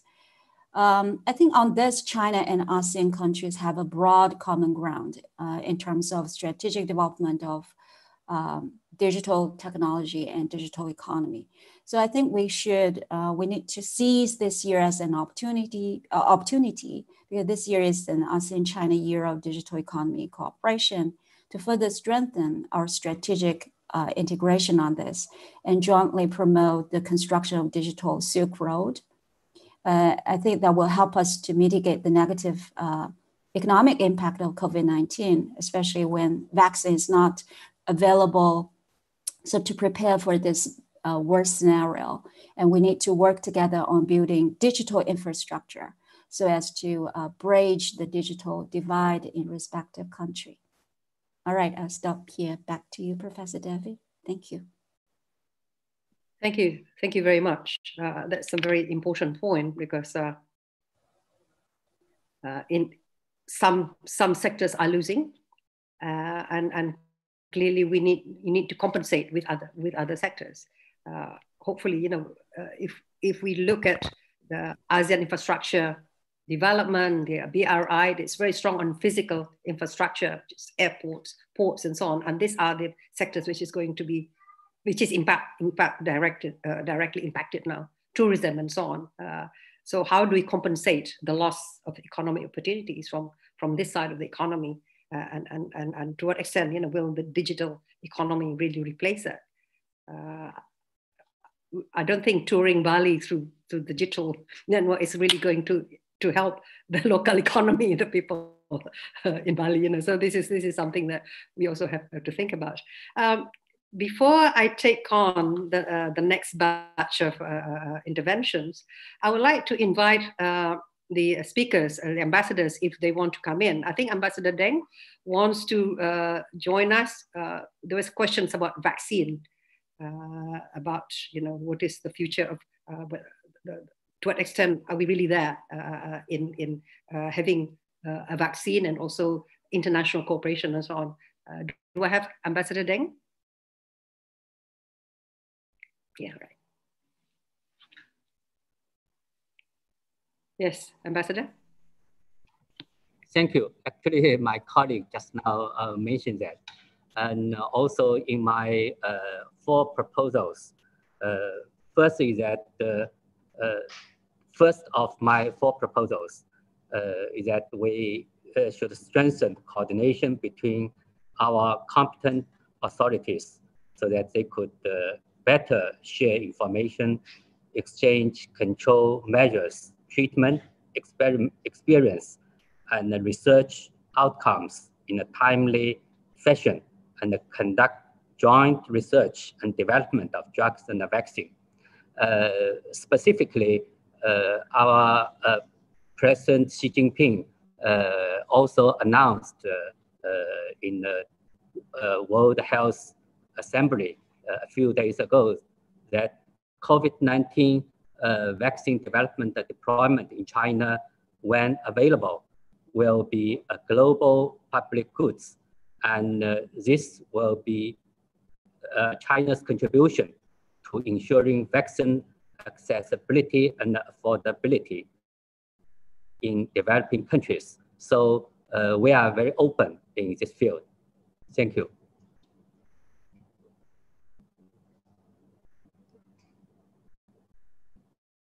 Thank you, Ambassador Deng. Uh, but there's also concern about uh, inequality because usually research is very expensive. Uh, pharmaceutical companies patent, you know, uh, their, their, their, their, products, and developed countries will not necessarily want to share uh, with developing countries. This is a struggle that developing countries, you know, like Indonesia and other developing countries, uh, including China, uh, also uh, have, have stressed the importance, you know, of getting uh, uh, Uh, equality and equity uh, in, uh, in the international era. but here, as we know, the impact of the trade war, US-China relations have also impacted the global public health. Uh, the US has with threatened to withhold funding to WHO uh, and, and, and when we need international cooperation, the, the re reality of the, the G2's uh, strain relations really impact also global public health. Uh, how will, what do you think, Ambassador Deng, you know, how can we overcome this? Uh, uh, thank you.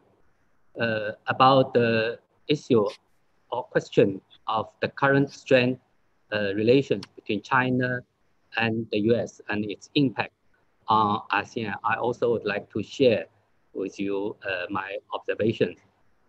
As for where we are and where we need to be in China-US relations, our position is consist consistent.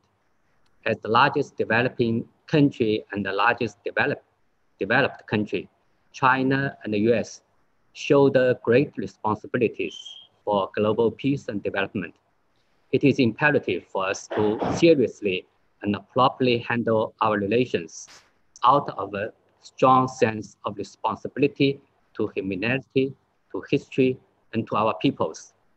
Both China and the US stand to gain from cooperation and lose from confrontation. This best captures what we have learned, positive and otherwise, from the past decades both sides should take this lesson to heart. China and the US have different social systems, but this is the result of the different choices made by the two peoples, which we must respect. It is also true that we have many disagreements, but that does not preclude cooperation. When you think about the challenges facing today's world, almost all of them require coordination between China and the US. China remains prepared to work with the US in the spirit of non-conflict or confrontation, mutual respect and win-win cooperation, and build a relationship based on coordination, cooperation, and stability. At the same time, uh, we will also defend its sovereignty and territorial integrity, its legitimate right to develop and the dignity and the place in the world which the Chinese people have worked so hard to earn. China has no intention to change, still rest replace the US. It is time for the US to give up its wishful thinking of changing China or stopping 1.4 billion people's historical march toward modernization. In short, for the fundamental and the long-term interests of the Chinese and American peoples and the well-being and the future of humanity,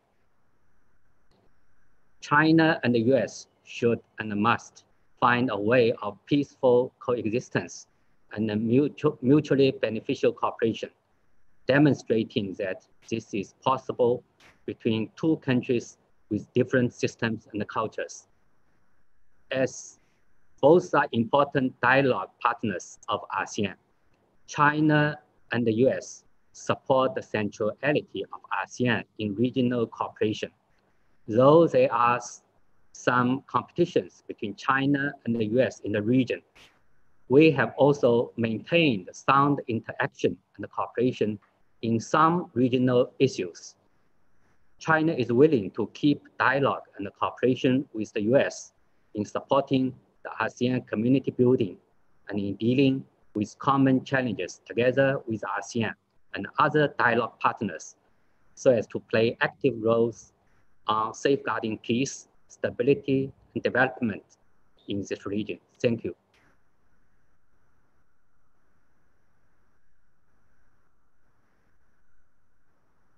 Thank you, Ambassador. We are, we are running out of time, but we have a number of discussants yet uh, who have not had their say. Um, Dr. Jayant Menon, you have been very patient. Thank you. Uh, thank you, uh, Professor Dewi. Um, I presume you can hear me. Yes. Yeah. Uh, let me just very quickly um, uh, pick up on a few things that have been said today by the speakers and the discussants. Uh, the first point I think that was made was the roles of um, global, regional, and national reactions um, to this uh, pandemic. I think. Um, Sorry, do we have a visual of you? Dr. Menon, do we have a visual of you? Um, yes, I think I'm here. Oops, it seems that I'm frozen actually. okay. well, doesn't right, matter. Yeah, let me just continue. Yeah, uh, I'll try and stop and start. Okay, anyway, so uh, as I was saying, um, I think the important thing here is to understand that, you know, the main response, these are all complementary, not substitutes, um, these three different levels of uh, response. Um, and uh, while the main response might be national, this is a global pandemic, and we would have been best served by a multilateral response. But this has not been possible. Uh, G, the G7 couldn't even come out with a communique because um, the US insisted on Wuhan virus instead of coronavirus. And uh, G22 has been rather lame in its uh, response compared to, say, the global financial crisis.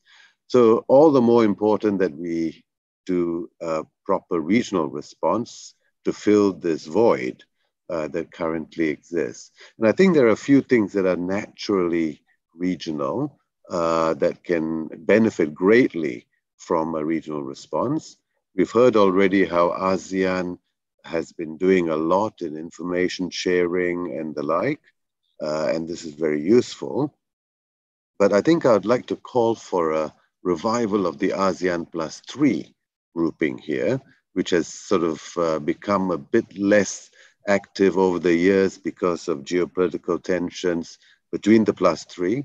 This is a time to put those things aside, the opportunity to overcome them uh, to come together to fight a common enemy. And I think uh, the ASEAN Plus 3, which was born out of a crisis, the Asian financial crisis, and is designed to deal with crisis, if not to try and avert them, is particularly well suited in this environment. Uh, it can now move on to helping coordinate uh, the fiscal stimulus programs. Uh, this is going going to be a long journey, the fight against the virus and the fight against the economic fallout. And I think we can coordinate the reactions a lot better going forward. And uh, also, I think we can deal better with uh, the kinds of um, uh, issues that will help us recover faster, like the travel bubbles and corridors that we've already uh, heard about.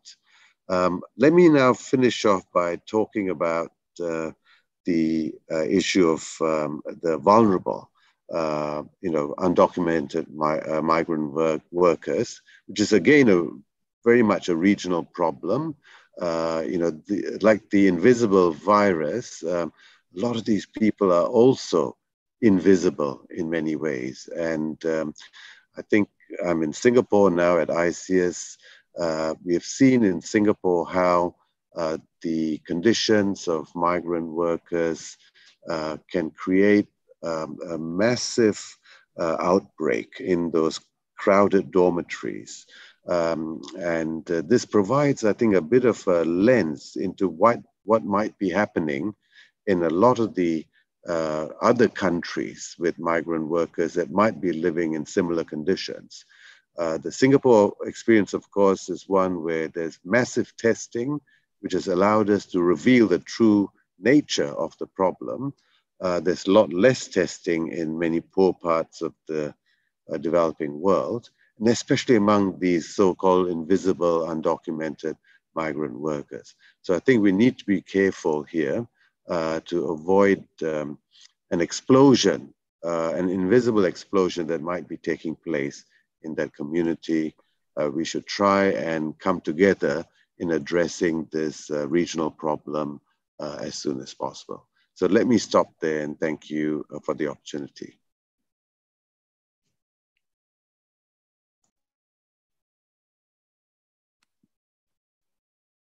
Thank you. Uh, we are running out of time very, very quickly, but hopefully uh, we can we can extend our time because we started late. I have seven names here, so I would like to call on Dr. Henry Chan uh, from Cambodia Institute for Cooperation and Peace.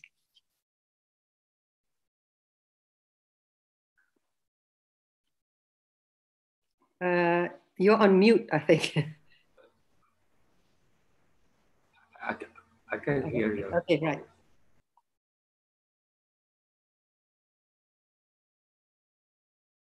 You can hear me now? Yes, all right. Oh, thank you. Uh, I just have several points to make after listening to all the uh, speakers with very good uh, presentations. My point very is that, uh, briefly. yes, very briefly. Now, number one, if you look at the number of cases around the world, the cases is not dropped. We have more than 100,000 new cases every day, except that the center of epidemic now has shifted to Americas. In, in the United States, the cases has not really dropped. It hovers over 20 plus thousand every day. And in South America, it has been going up to almost 40, 50,000 daily. So what I mean to say is that we might have a sense of lull that the cases is over because East Asia now is very clean. Europe is doing quite fine, but we have a third wave since coming in. Now, in this kind of cases, if there's a second wave, my personal feeling is that it's not going to hit us as bad because we have identified three measures that has been proven very effective. Closing the borders, mass testing, and then also uh, surveillance.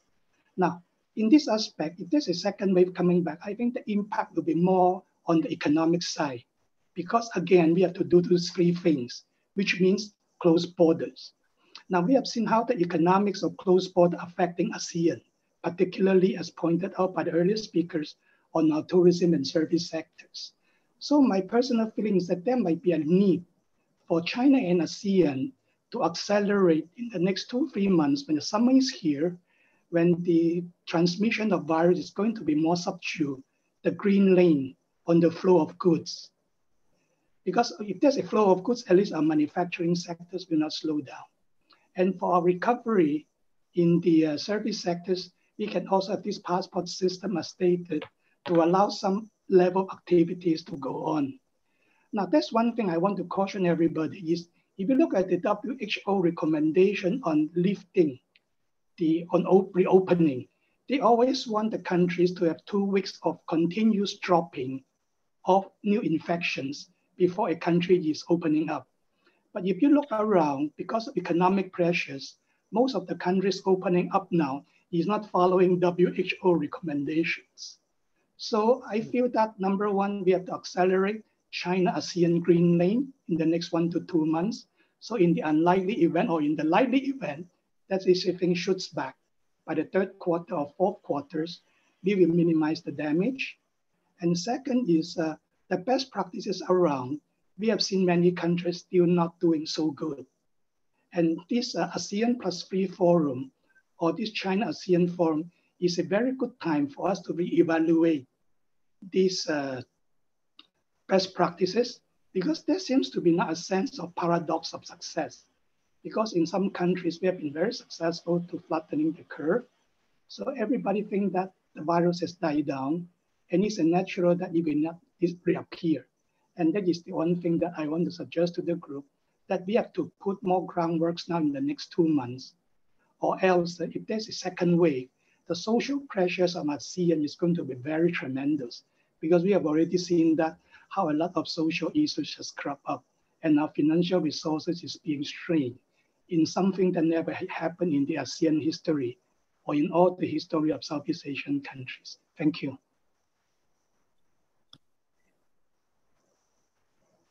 Thank you.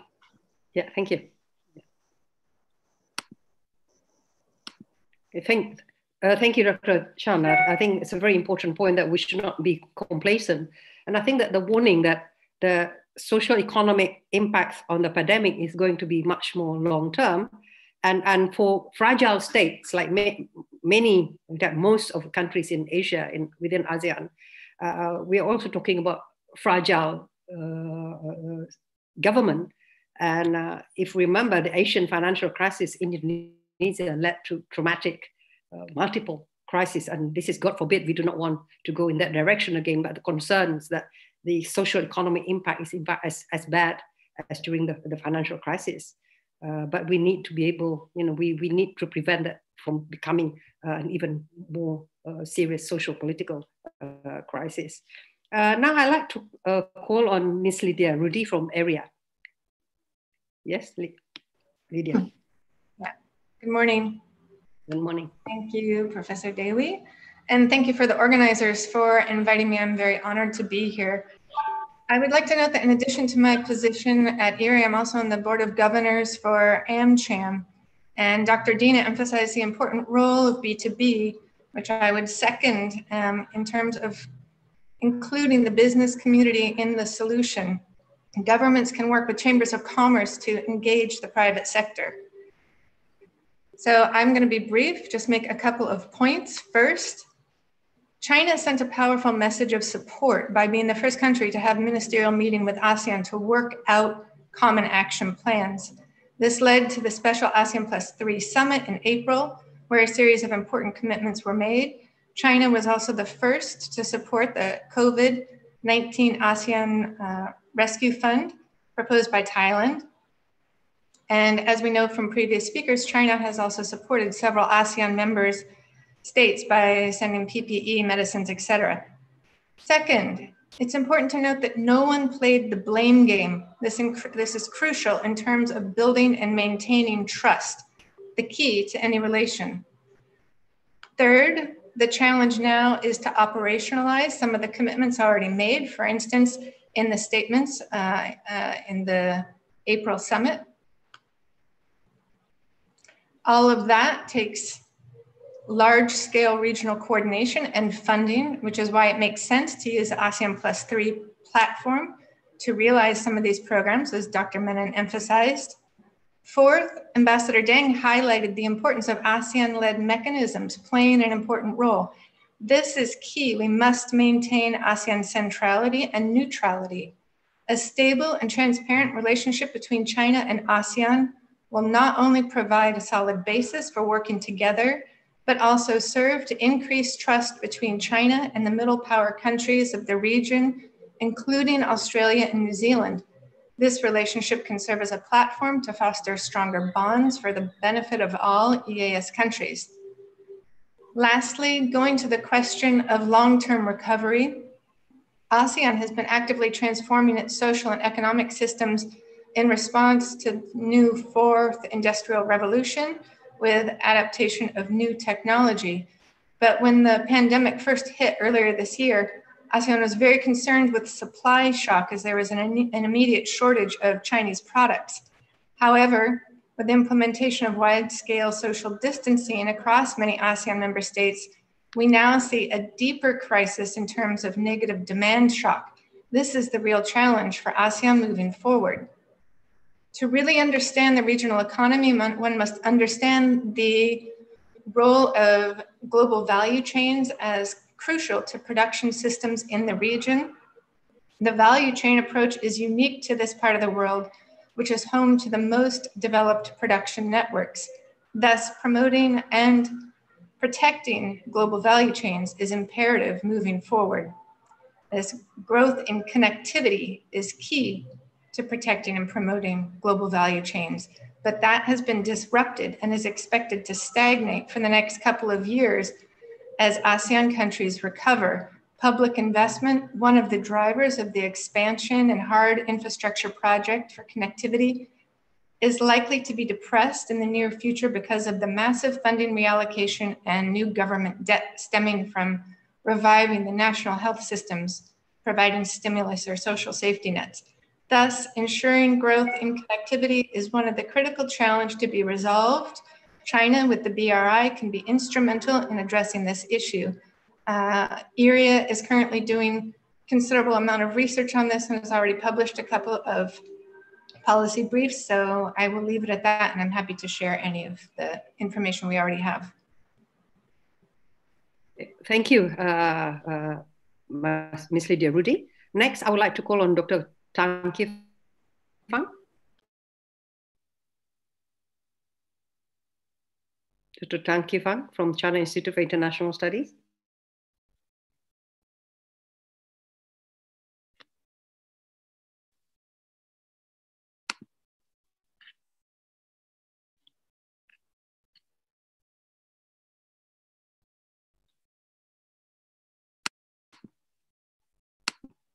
To be losing connection.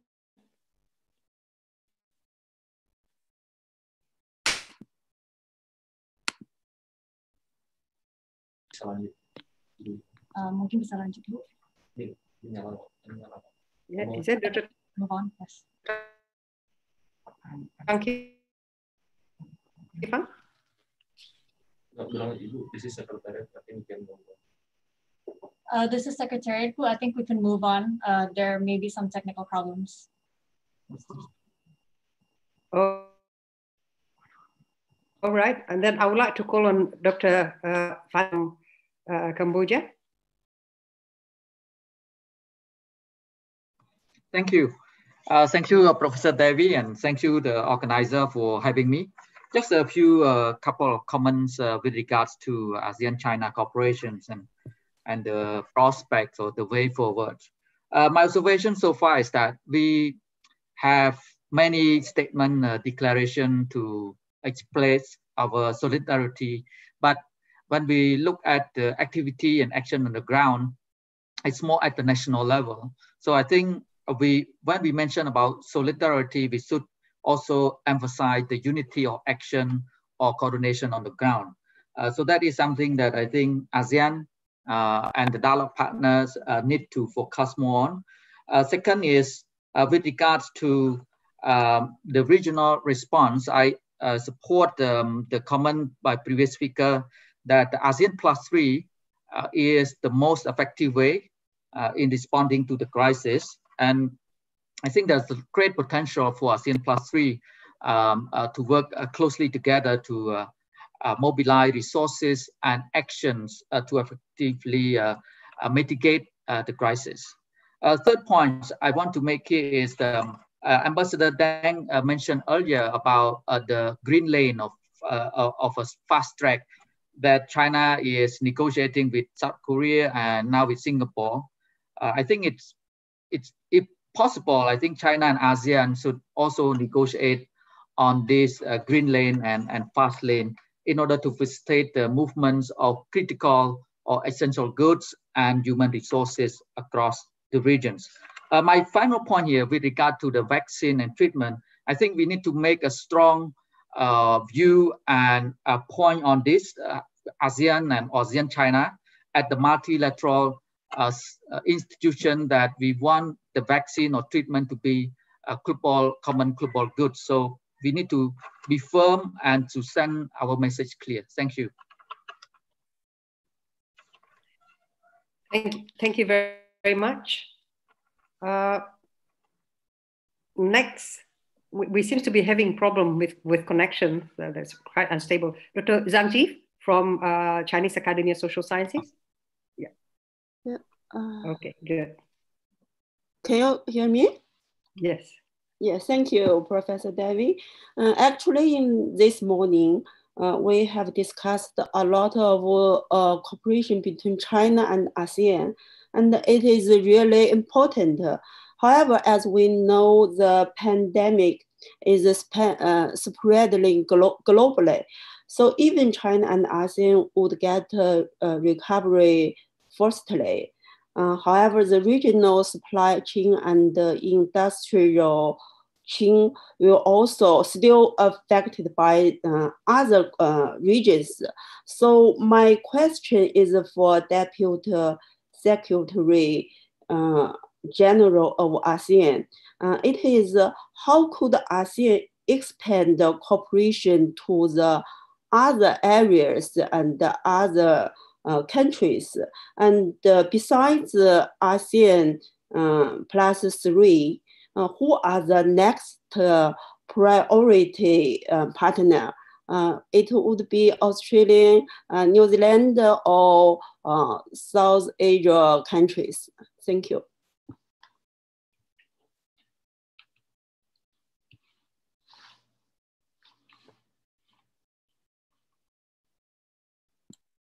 All right.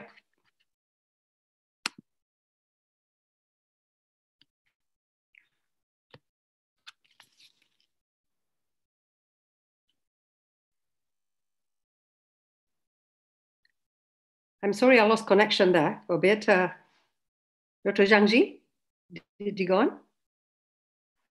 Finish. Uh, oh, okay, great. Yeah. Sorry, I, I, lost connection. This is a problem with digital economy and uh, you know connecting the world through digital. But we, we have a very unstable connection because everybody is now on Zoom. Uh, now, uh, Irene Chan from RSIS. All right.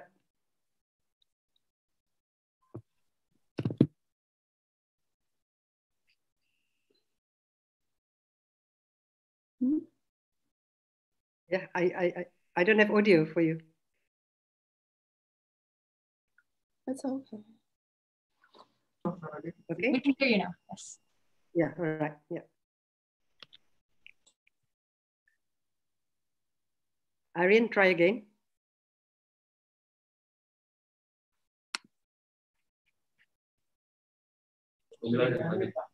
Hello. Yeah. Hello, can you hear me? Yes. Yeah. Okay, this is much better. Um, hi, uh, thank you for having uh, for your kind invitation. And um, my I have a sort of um question with regards to uh the strategic climate and and you know uh, security concerns um during the COVID nineteen because uh, national security is something that you know doesn't close and doesn't reopen. It's you know it's something that we must continue all the time.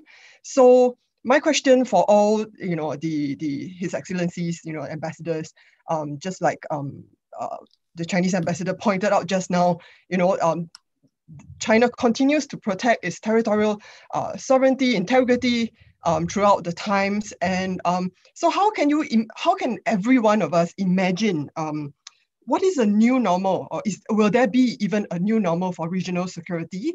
Um, and especially um, um, you know, the strategic calculations of power dynamics and influence. You know, um, yeah, this is my question. Thanks.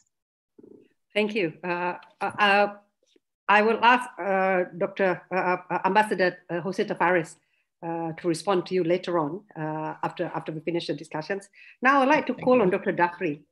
And after Dr. Dhafri, we'll come back to Dr. Tang Qifang. So Dr. Dhafri.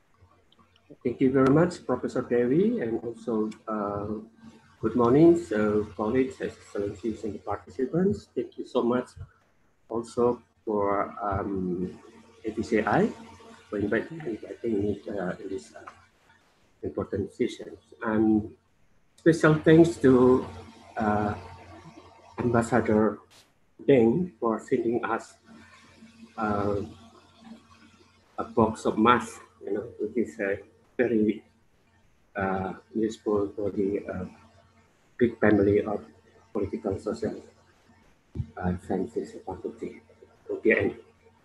Um, I have to, uh, more as a critical of uh, opinion actually, or comment rather than question. The first one is uh, to the ASEAN as a regional organization, and the second one to the relationship or cooperation between ASEAN and China.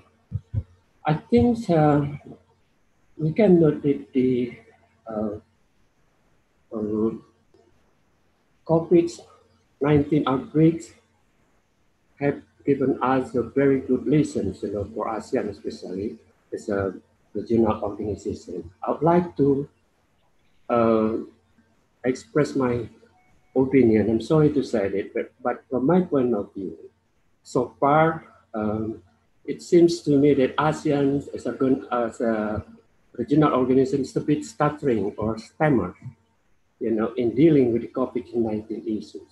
It can be understood actually due to the given nature of the ASEAN as a much more normative, formality, and the complexity of decision-making process in the ASEAN itself.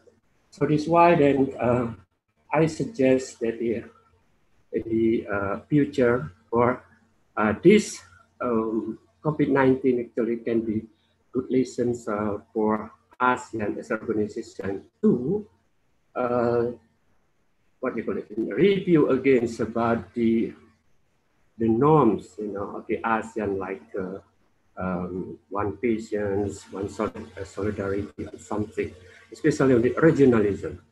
I think we, uh, ASEAN's uh, member countries have to deepening you know, the, the meanings of uh, solidarity itself. Um, it, due to the uh, need to deal with the uh, pandemic like uh, COVID-19 uh, now. So uh, in the future, um, I think ASEAN need to prepare itself by do something structural and institutional as a form of maybe ASEAN can uh, build a kind of special body on health issues, like uh, a regional special body on health issues, like a pandemic, and then strengthening the new uh, norms to deal with these kind of issues, and then focusing on the uh, prevention and recovery uh, rather than uh, accidental action and policies what uh, they do now.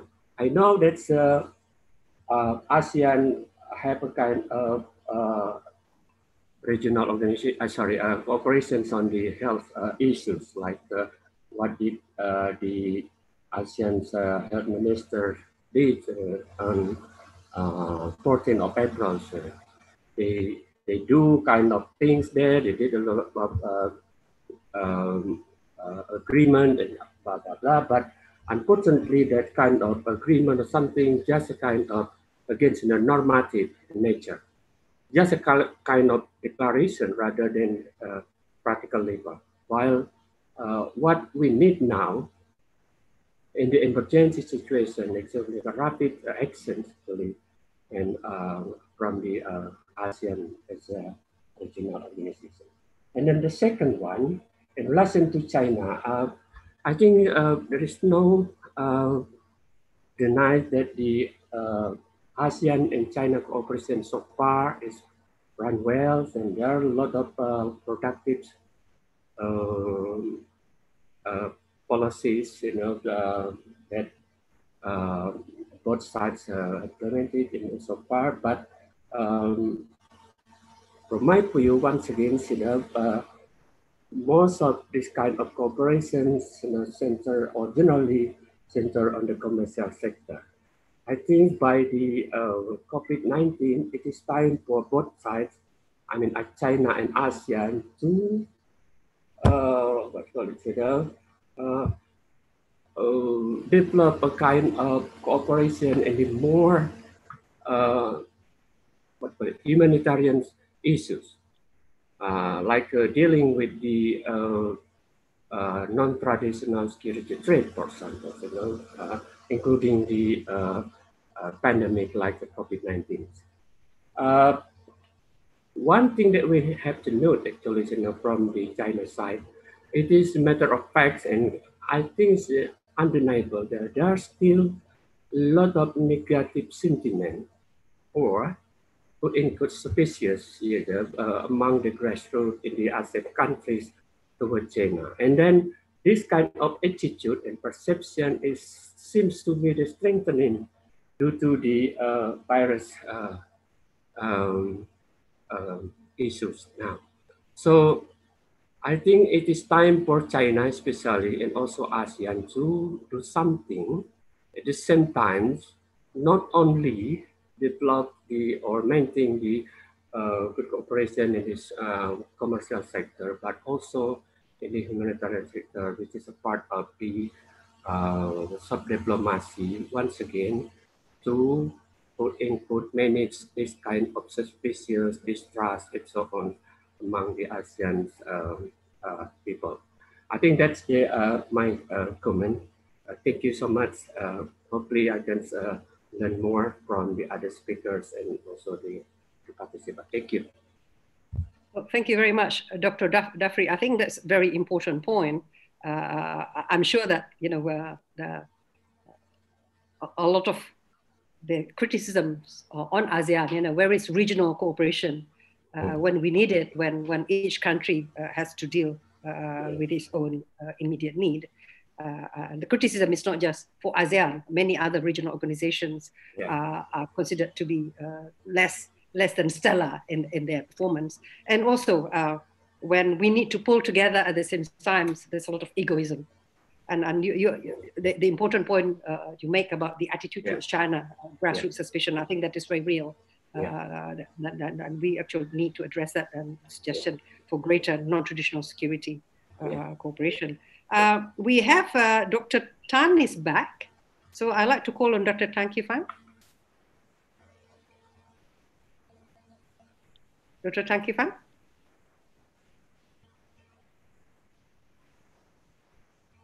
We have lost you again. The audio isn't uh, showing up. Mm -hmm. I'm sorry. Uh, Dr. Tang Qifang asked, uh, told us that he's back. Uh, we will be taking also questions from, from the audience um, and uh, the secretariat will inform me uh, if there are questions from, from uh, the audience. Uh, Dr. Tang Qifang is not back yet. I'm going to call on, I'm like to call on Dr. Shofwan Al Banna, who was, who came late because he had some, something to do this morning. So if Dr. Tang Qifang is not back, uh, I'd like to call on Dr. Shofwan.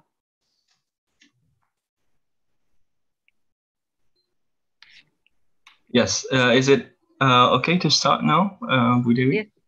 yes. Okay. Uh, hello. Uh, first of all, good morning, and thank you very much for uh, this very important opportunity. Uh, I'm really sorry for being late. There was a funeral this morning near my uh, neighborhood, despite the social distancing measures. Um, but anyhow, um, I think this discussion today is very interesting and reassuring to see uh, that uh, most of us see the importance of further strengthening regional cooperation amidst and after this pandemic. Uh, I just would like to uh, raise uh, a point about the interconnections between regional cooperation and national and global situation. Uh, as we are all uh, aware, uh, regional cooperation is needed, but as we have also seen, the fate of regional cooperation is pretty much also uh, not only related to the willingness of uh, uh, states or especially policymakers involved in foreign relations to to conduct the cooperation, but also tied to the domestic political uh, situation. And thus, I think it is very uh, important to also put attention on how uh, various states are responding to this pandemic and how that responses are affecting regional cooperation. And thus, maybe those involved in regional cooperation must also uh, anticipate this uh, the the the impacts of these uh, different national policies on regional cooperation. for example, the pandemic creates um, challenges to legitimacy for many national governments in uh, ASEAN countries as well as uh, in other countries, uh, the US, China, anywhere. And one common response to declining legitimacy is usually trying to boost legitimacy through uh, hard stance in uh, foreign uh, policy, especially in security issues. You need to appear uh, powerful in front of your uh, people. So it is interesting to to look at how this crisis of legitimacy created by this pandemic probably and probably this uh, is very much related to what uh, uh, Irene has mentioned uh, previously about the new normal in the security aspect, in which uh, states probably are willing to uh, change the or to, to be more assertive in the security issue, um, mainly for domestic consumption. to to get their legitimacy back from uh, the damage of the uh, created by the coronavirus. So uh, how, how, I would like to ask uh, the speakers on how do we mitigate this trend? How can uh, national governments maintain their legitimacy without sacrificing uh, a fragile trust in the region, which is already very uh, uh, fragile despite all uh, the ongoing cooperation. And it is worrying to see that to compensate the decline in legitimacy, many countries are trying to to to to appear tough, and it might it might cost uh, uh, the regional trust, which is uh, badly needed now. And the second also on the connection between these national and uh, regional uh, levels of governance is on how countries are experiencing this pandemic rather differently. There are countries which is very badly hit. There are countries that are moderately hit. There are countries that manage it relatively well. There are countries that, um, uh, well, uh, well, yeah. Uh, so, uh, but then uh, these countries are having different policies in opening up, which um, how to say somehow could lead to to anxiety, to to distrust in in reconnecting the economy. I mean, like even if a country uh, like Indonesia uh, is opening up uh, to the new normal, um, will other ASEAN countries uh, trust Indonesia if we look at uh, the numbers? Or as well, not only in Indonesia, but also uh, the trust between uh, different countries. Could we rely on national data, which is now we the only data available is the national data because even the uh, WHO uh, data must also take from the the the source at the national level. Uh, so it's pretty much uh, uh, the problem of trust in, in this issue. How, how to manage this?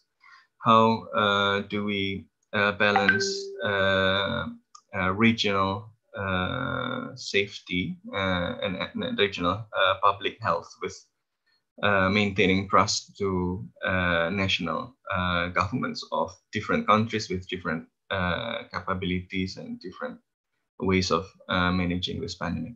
Thank you very much, Bu Dewi.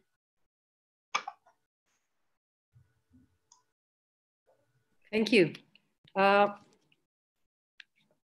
we have uh, questions from, from the uh, uh, audience, uh, which I'll read out. And Professor Ambassador Deng, all three questions are actually directed to you. So please be ready. I will, I will read it out uh, and also, uh, maybe the other speakers uh, will also like to respond. For example, maybe on the issues of the, the, the tension between uh, national imperatives and the need for regional cooperation uh, that Dr. Shofwan has mentioned. Maybe uh, Ambassador Tavares would like uh, to take that issue and maybe other, other speakers as well. Now to Ambassador Deng, there's a question from uh, Jia Jie. Uh, so what are the positive impacts of China's poverty alleviation and building a moderately prosperous, society in an all round way on ASEAN, especially on the post-pandemic period? So I think the best lessons, uh, best practices from China, what, what can ASEAN learn from that? Uh, secondly, there's a question which is not really related to COVID uh, from Zhao Mian, uh, no affiliation. It says here that ASEAN and Hong Kong have very close co economic cooperations. Recently, China decided to press ahead with the national security legislation for Hong Kong. Will it affect Hong Kong's status of international financial center and its economic cooperation with ASEAN? Uh, maybe pa Jose Tavares can answer this uh, question. And uh, last question is from Heru Zhu from Radio Elshinta of Indonesia. Also a question to Ambassador Deng.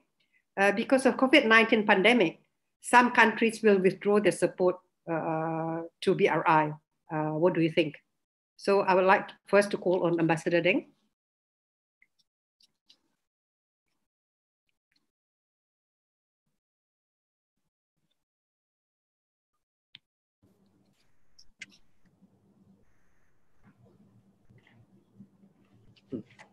Thank you. Uh, about the first question, poverty, uh, poverty alleviation. Impact, yeah, yeah, poverty alleviation. Yes. Uh, you see, the, uh, this year, 2020, is the final year for China to win the battle against poverty. China will achieve a series of uh, ambitious goals as scheduled to lift all people living under the current poverty line out of poverty to complete the building of a moderate, prosperous society in all respects and to achieve the first goal in the UN Agenda 2030 on sustainable development 10 years in advance. This is uh, China's contribution to the global cause of poverty reduction as uh, President Xi Jinping pointed out recently, that the battle against poverty has come to the final and the most critical phase. We need to overcome the impact of the COVID-19 pandemic and focus our efforts to crack hard nuts. We need to take multi-faceted measures to consolidate what has been done and achieve complete poverty reduction with higher quality. And we need to go all in for the complete victory of the battle against poverty. China attaches great importance to poverty reduction exchange and cooperation with ASEAN countries.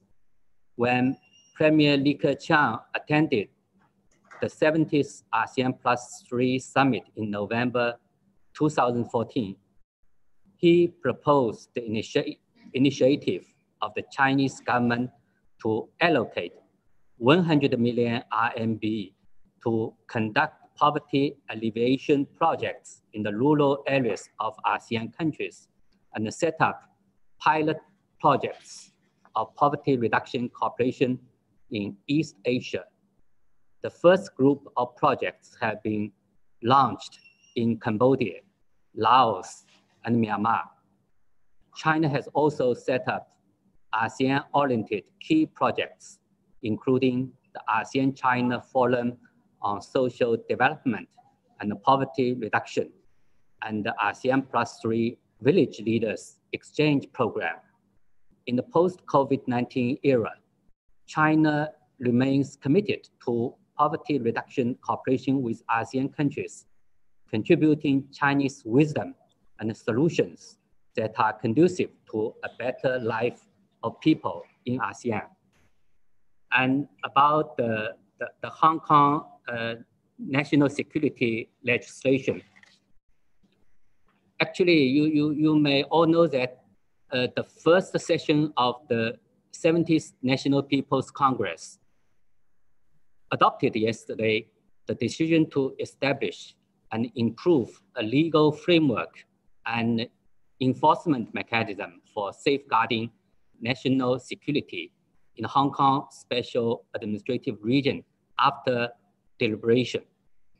We all know that national security is a basic precondition for the existence and development of a nation. However, since the abandonment bill disturbance in 2019, the Hong Kong independence and the radical separatist forces have become increasingly rampant with escalating violent terrorist activities. If you follow the Hong Kong situation closely, you can find beating, smashing, and burning in many places in Hong Kong since last year, which has seriously put Hong Kong into turmoil and endangered normal life of Hong Kong people and social order. To make things worse, foreign interfering forces and Taiwan independence forces have blatantly stepped up intervention in Hong Kong affairs. Among those writers, you also could see foreign faces, foreign flags, and hear them singing foreign national anthems, all of which severely undermines Hong Kong public security, seriously challenges the bottom line of one country, two systems principle, and poses real threats to the national security of China. The reason for the problem is that since the return of Hong Kong 23 years ago, the Hong Kong Special Administrative Region has not acted out its constitutional duty for national security in line with China's constitution and the basic law. There is a clear loophole in Hong Kong's legal system and the absence of a mechanism of enforcement. All these have left Hong Kong unprotected. Actually, in all countries, unitary and federal, federal alike, only the state legislature has the legislative power on issues concerning national security. The Chinese central government bears the primary and ultimate responsibility for safeguarding national security, which is the core of one country, two systems, and the foundation for its existence. Only when national security is ensured can Hong Kong enjoy prosperity and stability. To establish and improve a legal framework and enforcement mechanism for safeguarding national security in Hong Kong is to prohibit a very small number of people from splitting the country, subverting state power, organizing and carrying out terrorist activities, and foreign and external forces from interfering in the Hong, Hong Kong affairs. It will protect the law-abiding Hong Kong citizens who are the overwhelming majority, guarantee the legitimate rights and interests of Hong Kong residents and foreign institutions and personnel in Hong Kong, and safeguard the fundamental interests of the state and the Hong Kong Special Administrative Region. It also serves the common interests of the international community, including ASEAN member states. We know very well that there are strong economic, commercial, and cultural relations between ASEAN countries and Hong Kong. So people should have more confidence in Hong Kong's future. A legislative process will be set in motion following the adoption of the National People's Congress decision. This will improve Hong Kong's legal system and bring more stability, stronger role of law, and a better business environment to Hong Kong. It will protect the basic principle of one country, two systems, and Hong Kong's position as a global financial, trading, and shipping center. I believe that it will be conducive to the long-term prosperity and stability of Hong Kong, as well as the enhanced economic and commercial cooperation between Hong Kong and ASEAN. About the, the third question. Uh, Can we make it much uh, briefer, uh, Ambassador? Yeah, we are running out of time. Yeah, yes. Very brief comment on impact of COVID on BRI. Uh, yes, it's about Belt and Road. Yes. Okay, thank you. Uh, I would like to uh, to say that there is no inherent connection between the Belt and Road Initiative and the debt problem of some countries, and that no country has been embroiled in debt crisis because of China's investment. While uh, no, the question with, is no, no, the question is whether COVID-19 has an impact on the enthusiasm of countries to take part in BRI. Has it impacted at all? Do, do you see future impacts on that?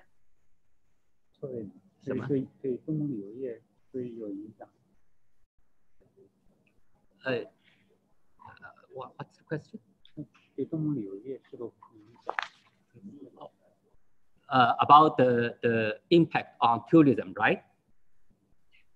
Yeah. So the impact of COVID, you know, the impact of coronavirus on yes. uh, on participation in the RI.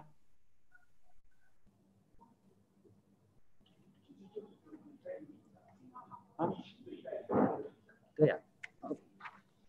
Uh, yes. Uh, actually, uh, the, despite the impact of COVID-19, Chinese investment in Belt and Road partner countries increased by 11.7% in the first quarter and trade with them was up by 3.2%. Steady progress is being made in the China-Laos Railway and the dual fuel power plant in Cambodia. Construction has resumed for a number of projects suspended due to COVID-19. All this will generate strong impetus for the host country's efforts to beat the virus and revitalize the country.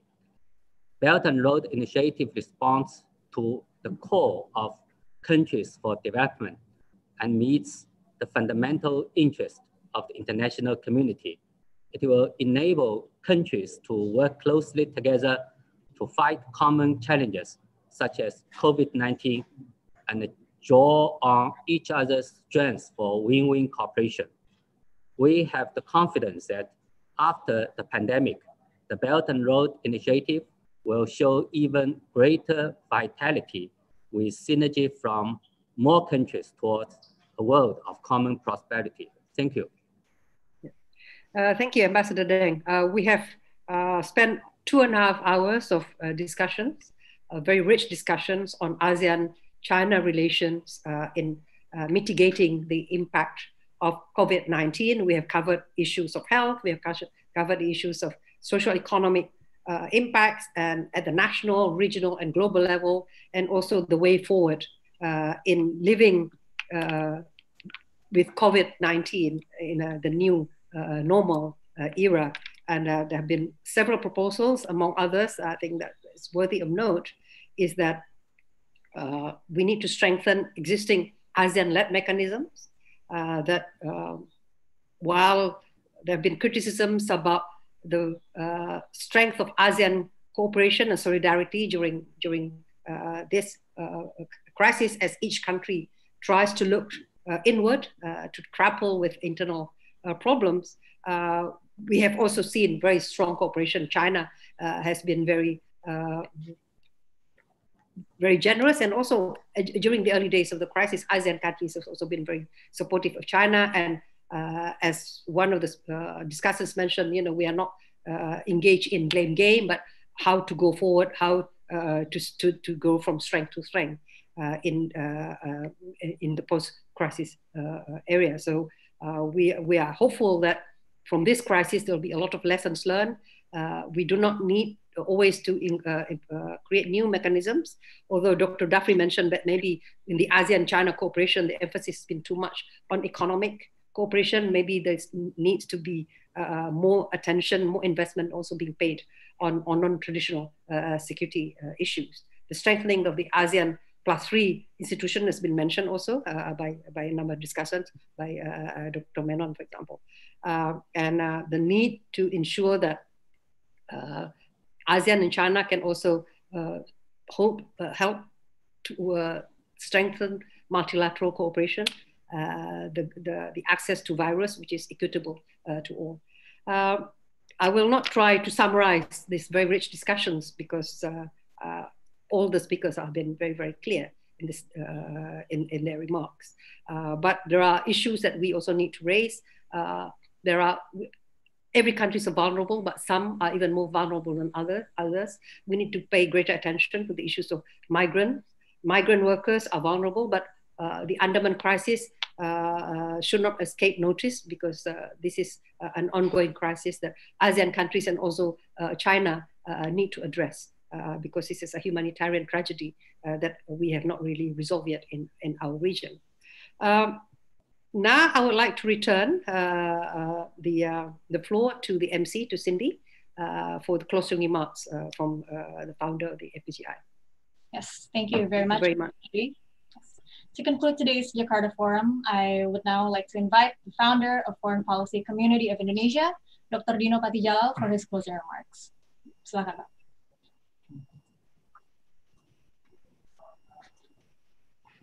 Okay, I hope you can hear me. And uh, I want to thank uh, Dr. Dewi Fortuna Anwar for being a great uh, moderator. And I want to thank uh, all our speakers, uh, but especially Ambassador uh, Deng Xijun, Ambassador of uh, China to ASEAN, uh, Deputy Secretary General Kung Phoak, and also my good friend Jose Antonio Morato uh, for their earlier remarks and all the discussions. this has been a very rich, good, and, and honest discussions, and, and I think all of us uh, enjoyed it, and including the public uh, out there. I, I, am reported there's about more than a thousand people who are listening in. So thank you all for listening.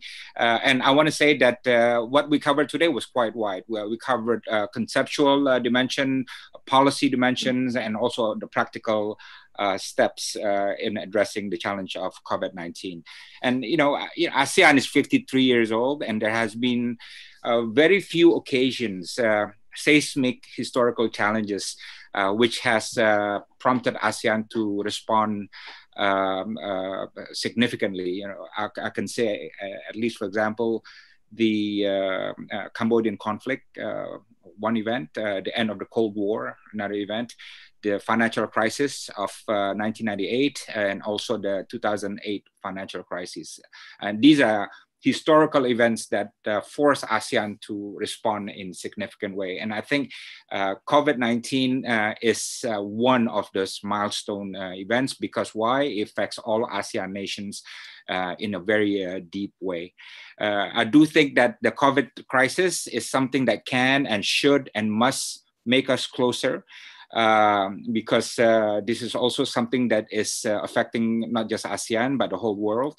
Uh, and uh, uh, this is also an a crisis that uh, will be proven um, to make ASEAN and China closer in terms of the, their cooperation. And why do I say this? because developing a response and solidarity during crisis is really more powerful times.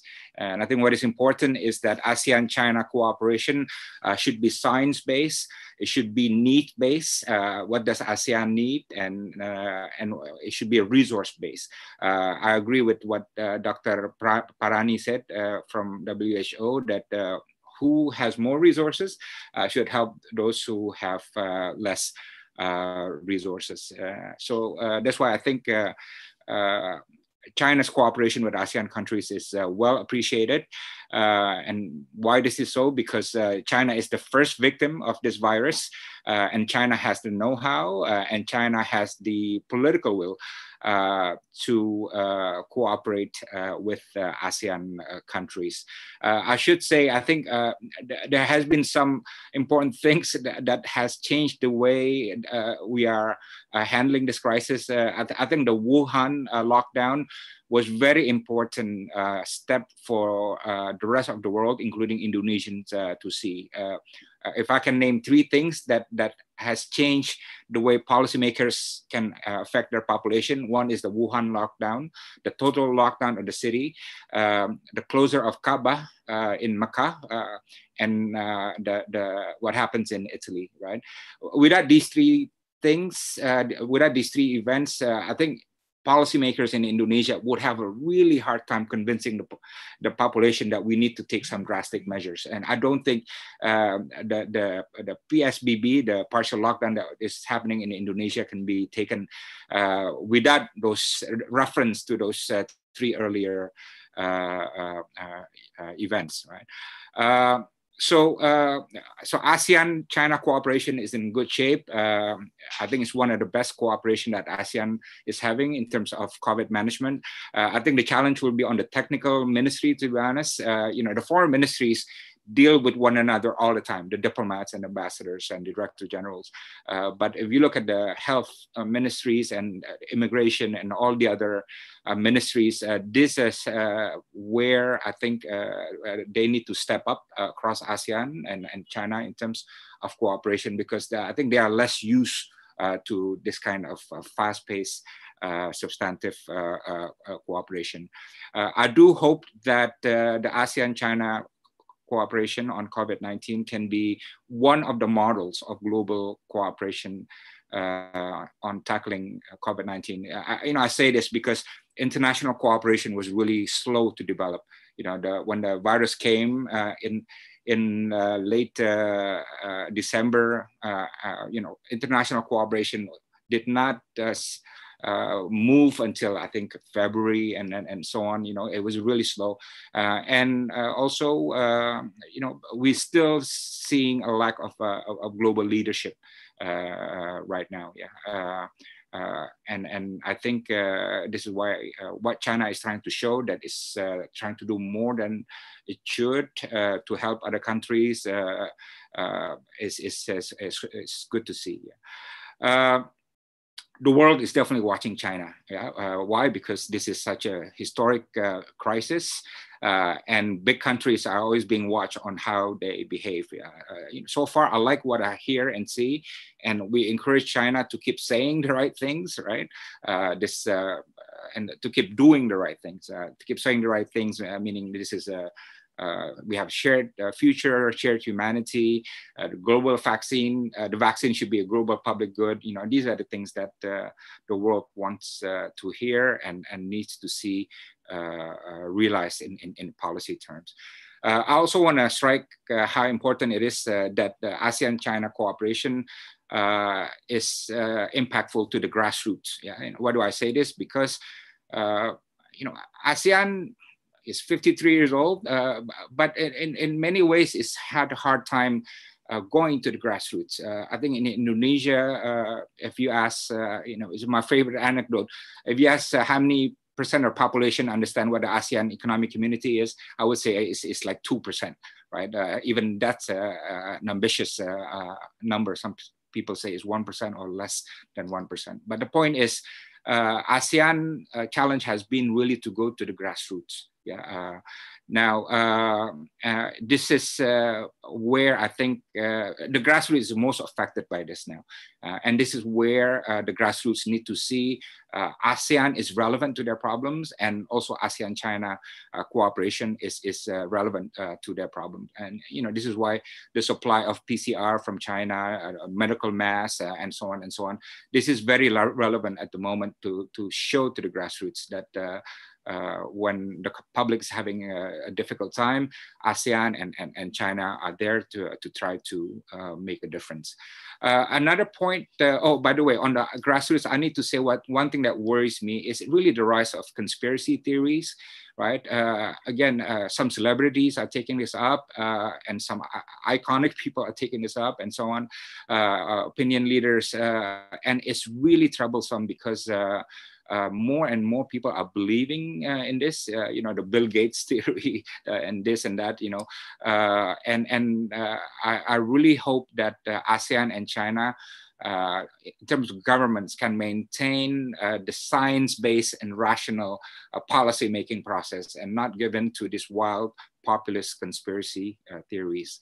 Uh, the other one, the other comment I want to make is that I think it's, it's interesting to see if the COVID-19 agenda will push aside the other agenda or uh, is there a realization that the COVID agenda should be uh, kept uh, in uh, complement with the other agenda, the trade agenda, the investment, education, diplomatic, climate, and all the other agenda. You know, I say this because I think the thinking within every nation now is, uh, and especially true for Indonesia, hey, COVID agenda means all the other things are forgotten or pushed aside for now, right? Uh, again, I don't uh, I'm not saying that one is right over the other, but we need uh, to to understand uh, that uh, this is happening now, and where are we going? COVID pushing the other agenda aside, or COVID and all the other agenda treated as part of the same solutions to this grand problem. and I think one of the key questions now is what happens to the economic uh, dimension of uh, COVID-19. I agree with all the other speakers who spoke about this. Uh, Ambassador Deng uh, rightly pointed out uh, that uh, trade remain at went up at about six percent. Yeah, but I would caution because that's Q1 and quarter two it will be a lot lower uh, just as indonesia's economic growth uh, in quarter two is a lot lower and so is singapore uh, i think so is malaysia philippines and, and and all the others so we have really a challenge on not just dealing with covid-19 in terms of the health uh, public health factor, but in terms of economic fallout. And I think the most serious thing that we need to anticipate is the jobs avalanche, right? Uh, the, the, the rising new poor uh, in ASEAN countries, uh, maybe in China too, I don't know the situation there. But uh, in Indonesia now, uh, uh, we expect 5 million people at least joining the new poor as a result of them be becoming unemployed. And, and unpaid leave and so on. And this is going to create a serious economic and social crisis, even political right? If this is not handled right. So the ability of ASEAN to respond economically uh, in a way that is relevant to this and the, uh, and, and the way of China to, to remain relevant to ASEAN's economic future, uh, especially in terms of trade, investment, uh, tourism, education, technology, and all that uh, will be very uh, critical in, in the near term. and the other thing is also, as, I, I like the advocacy that ASEAN and China should have uh, increased cooperation in WHO, right? Uh, I gotta turn this off. Sorry. Uh, uh, I like I like that they have to increase uh, cooperating WHO because you know you know I fear that WHO is being seen as a uh, it can be made into a scapegoat uh, on, on the COVID-19 issues. And this is going to be very dangerous if, if this happens, right? Because uh, WHO is the place where we all need to cooperate and where we need multilateral solutions. Uh, and we really need to maintain uh, the, the you know, the, integrity of WHO and, and just make sure that uh, it's not uh, going to be turned into scapegoat or uh, you know political football over there, although that is probably going to be uh, inevitable. Uh, and finally, um, the uh, the big elephant in the room that we're not uh, discussing, which is uh, the, U.S.-China uh, rivalry. You know, I, I know Dr. Dinna talked about it, right? But uh, you know, this is going to be affecting how the world is responding to COVID-19, uh, and you know, some impact on on ASEAN-China cooperation as well. And you know, I, I have to say that Southeast Asian countries, ASEAN countries, really not interested in the U.S.-China rivalry, right? Uh, we think it's not uh, relevant for the problem that we're facing now, and we really hope that uh, the US and China really can get along and, and work together to address COVID-19. And, and, and uh, you know, unfortunately, uh, the political situation in, in the US now, in the run up to the elections, uh, would make it impossible uh, for, for that uh, to, to happen. right? Uh, unfortunately.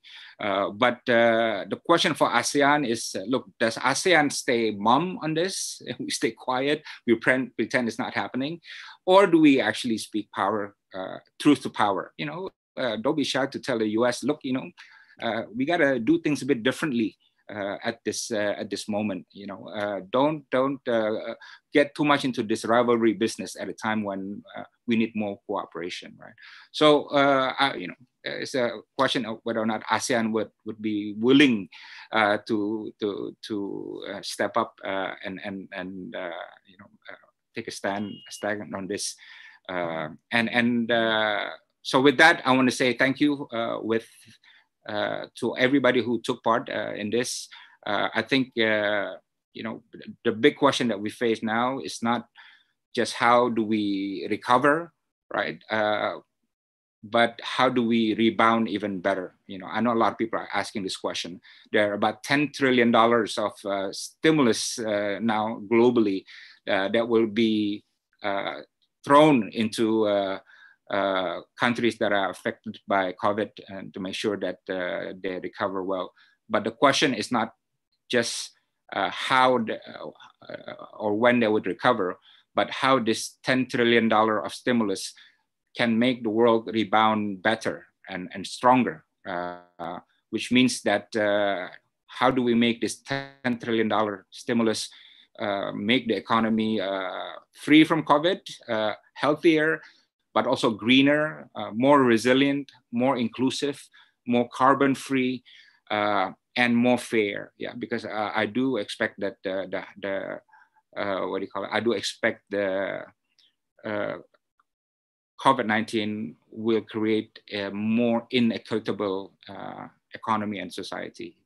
and this is why the, task of how do we rebound better will be the, the most important uh, historical, intellectual, and policy questions uh, for the world and also for ASEAN and China. So uh, I've spoken too long, uh, but thank you so much. This has been a great uh, uh, discussion and I look forward to the second Jakarta Forum where we hope to have equally, if not even better, speakers and, and discussions. Thank you very much, everybody.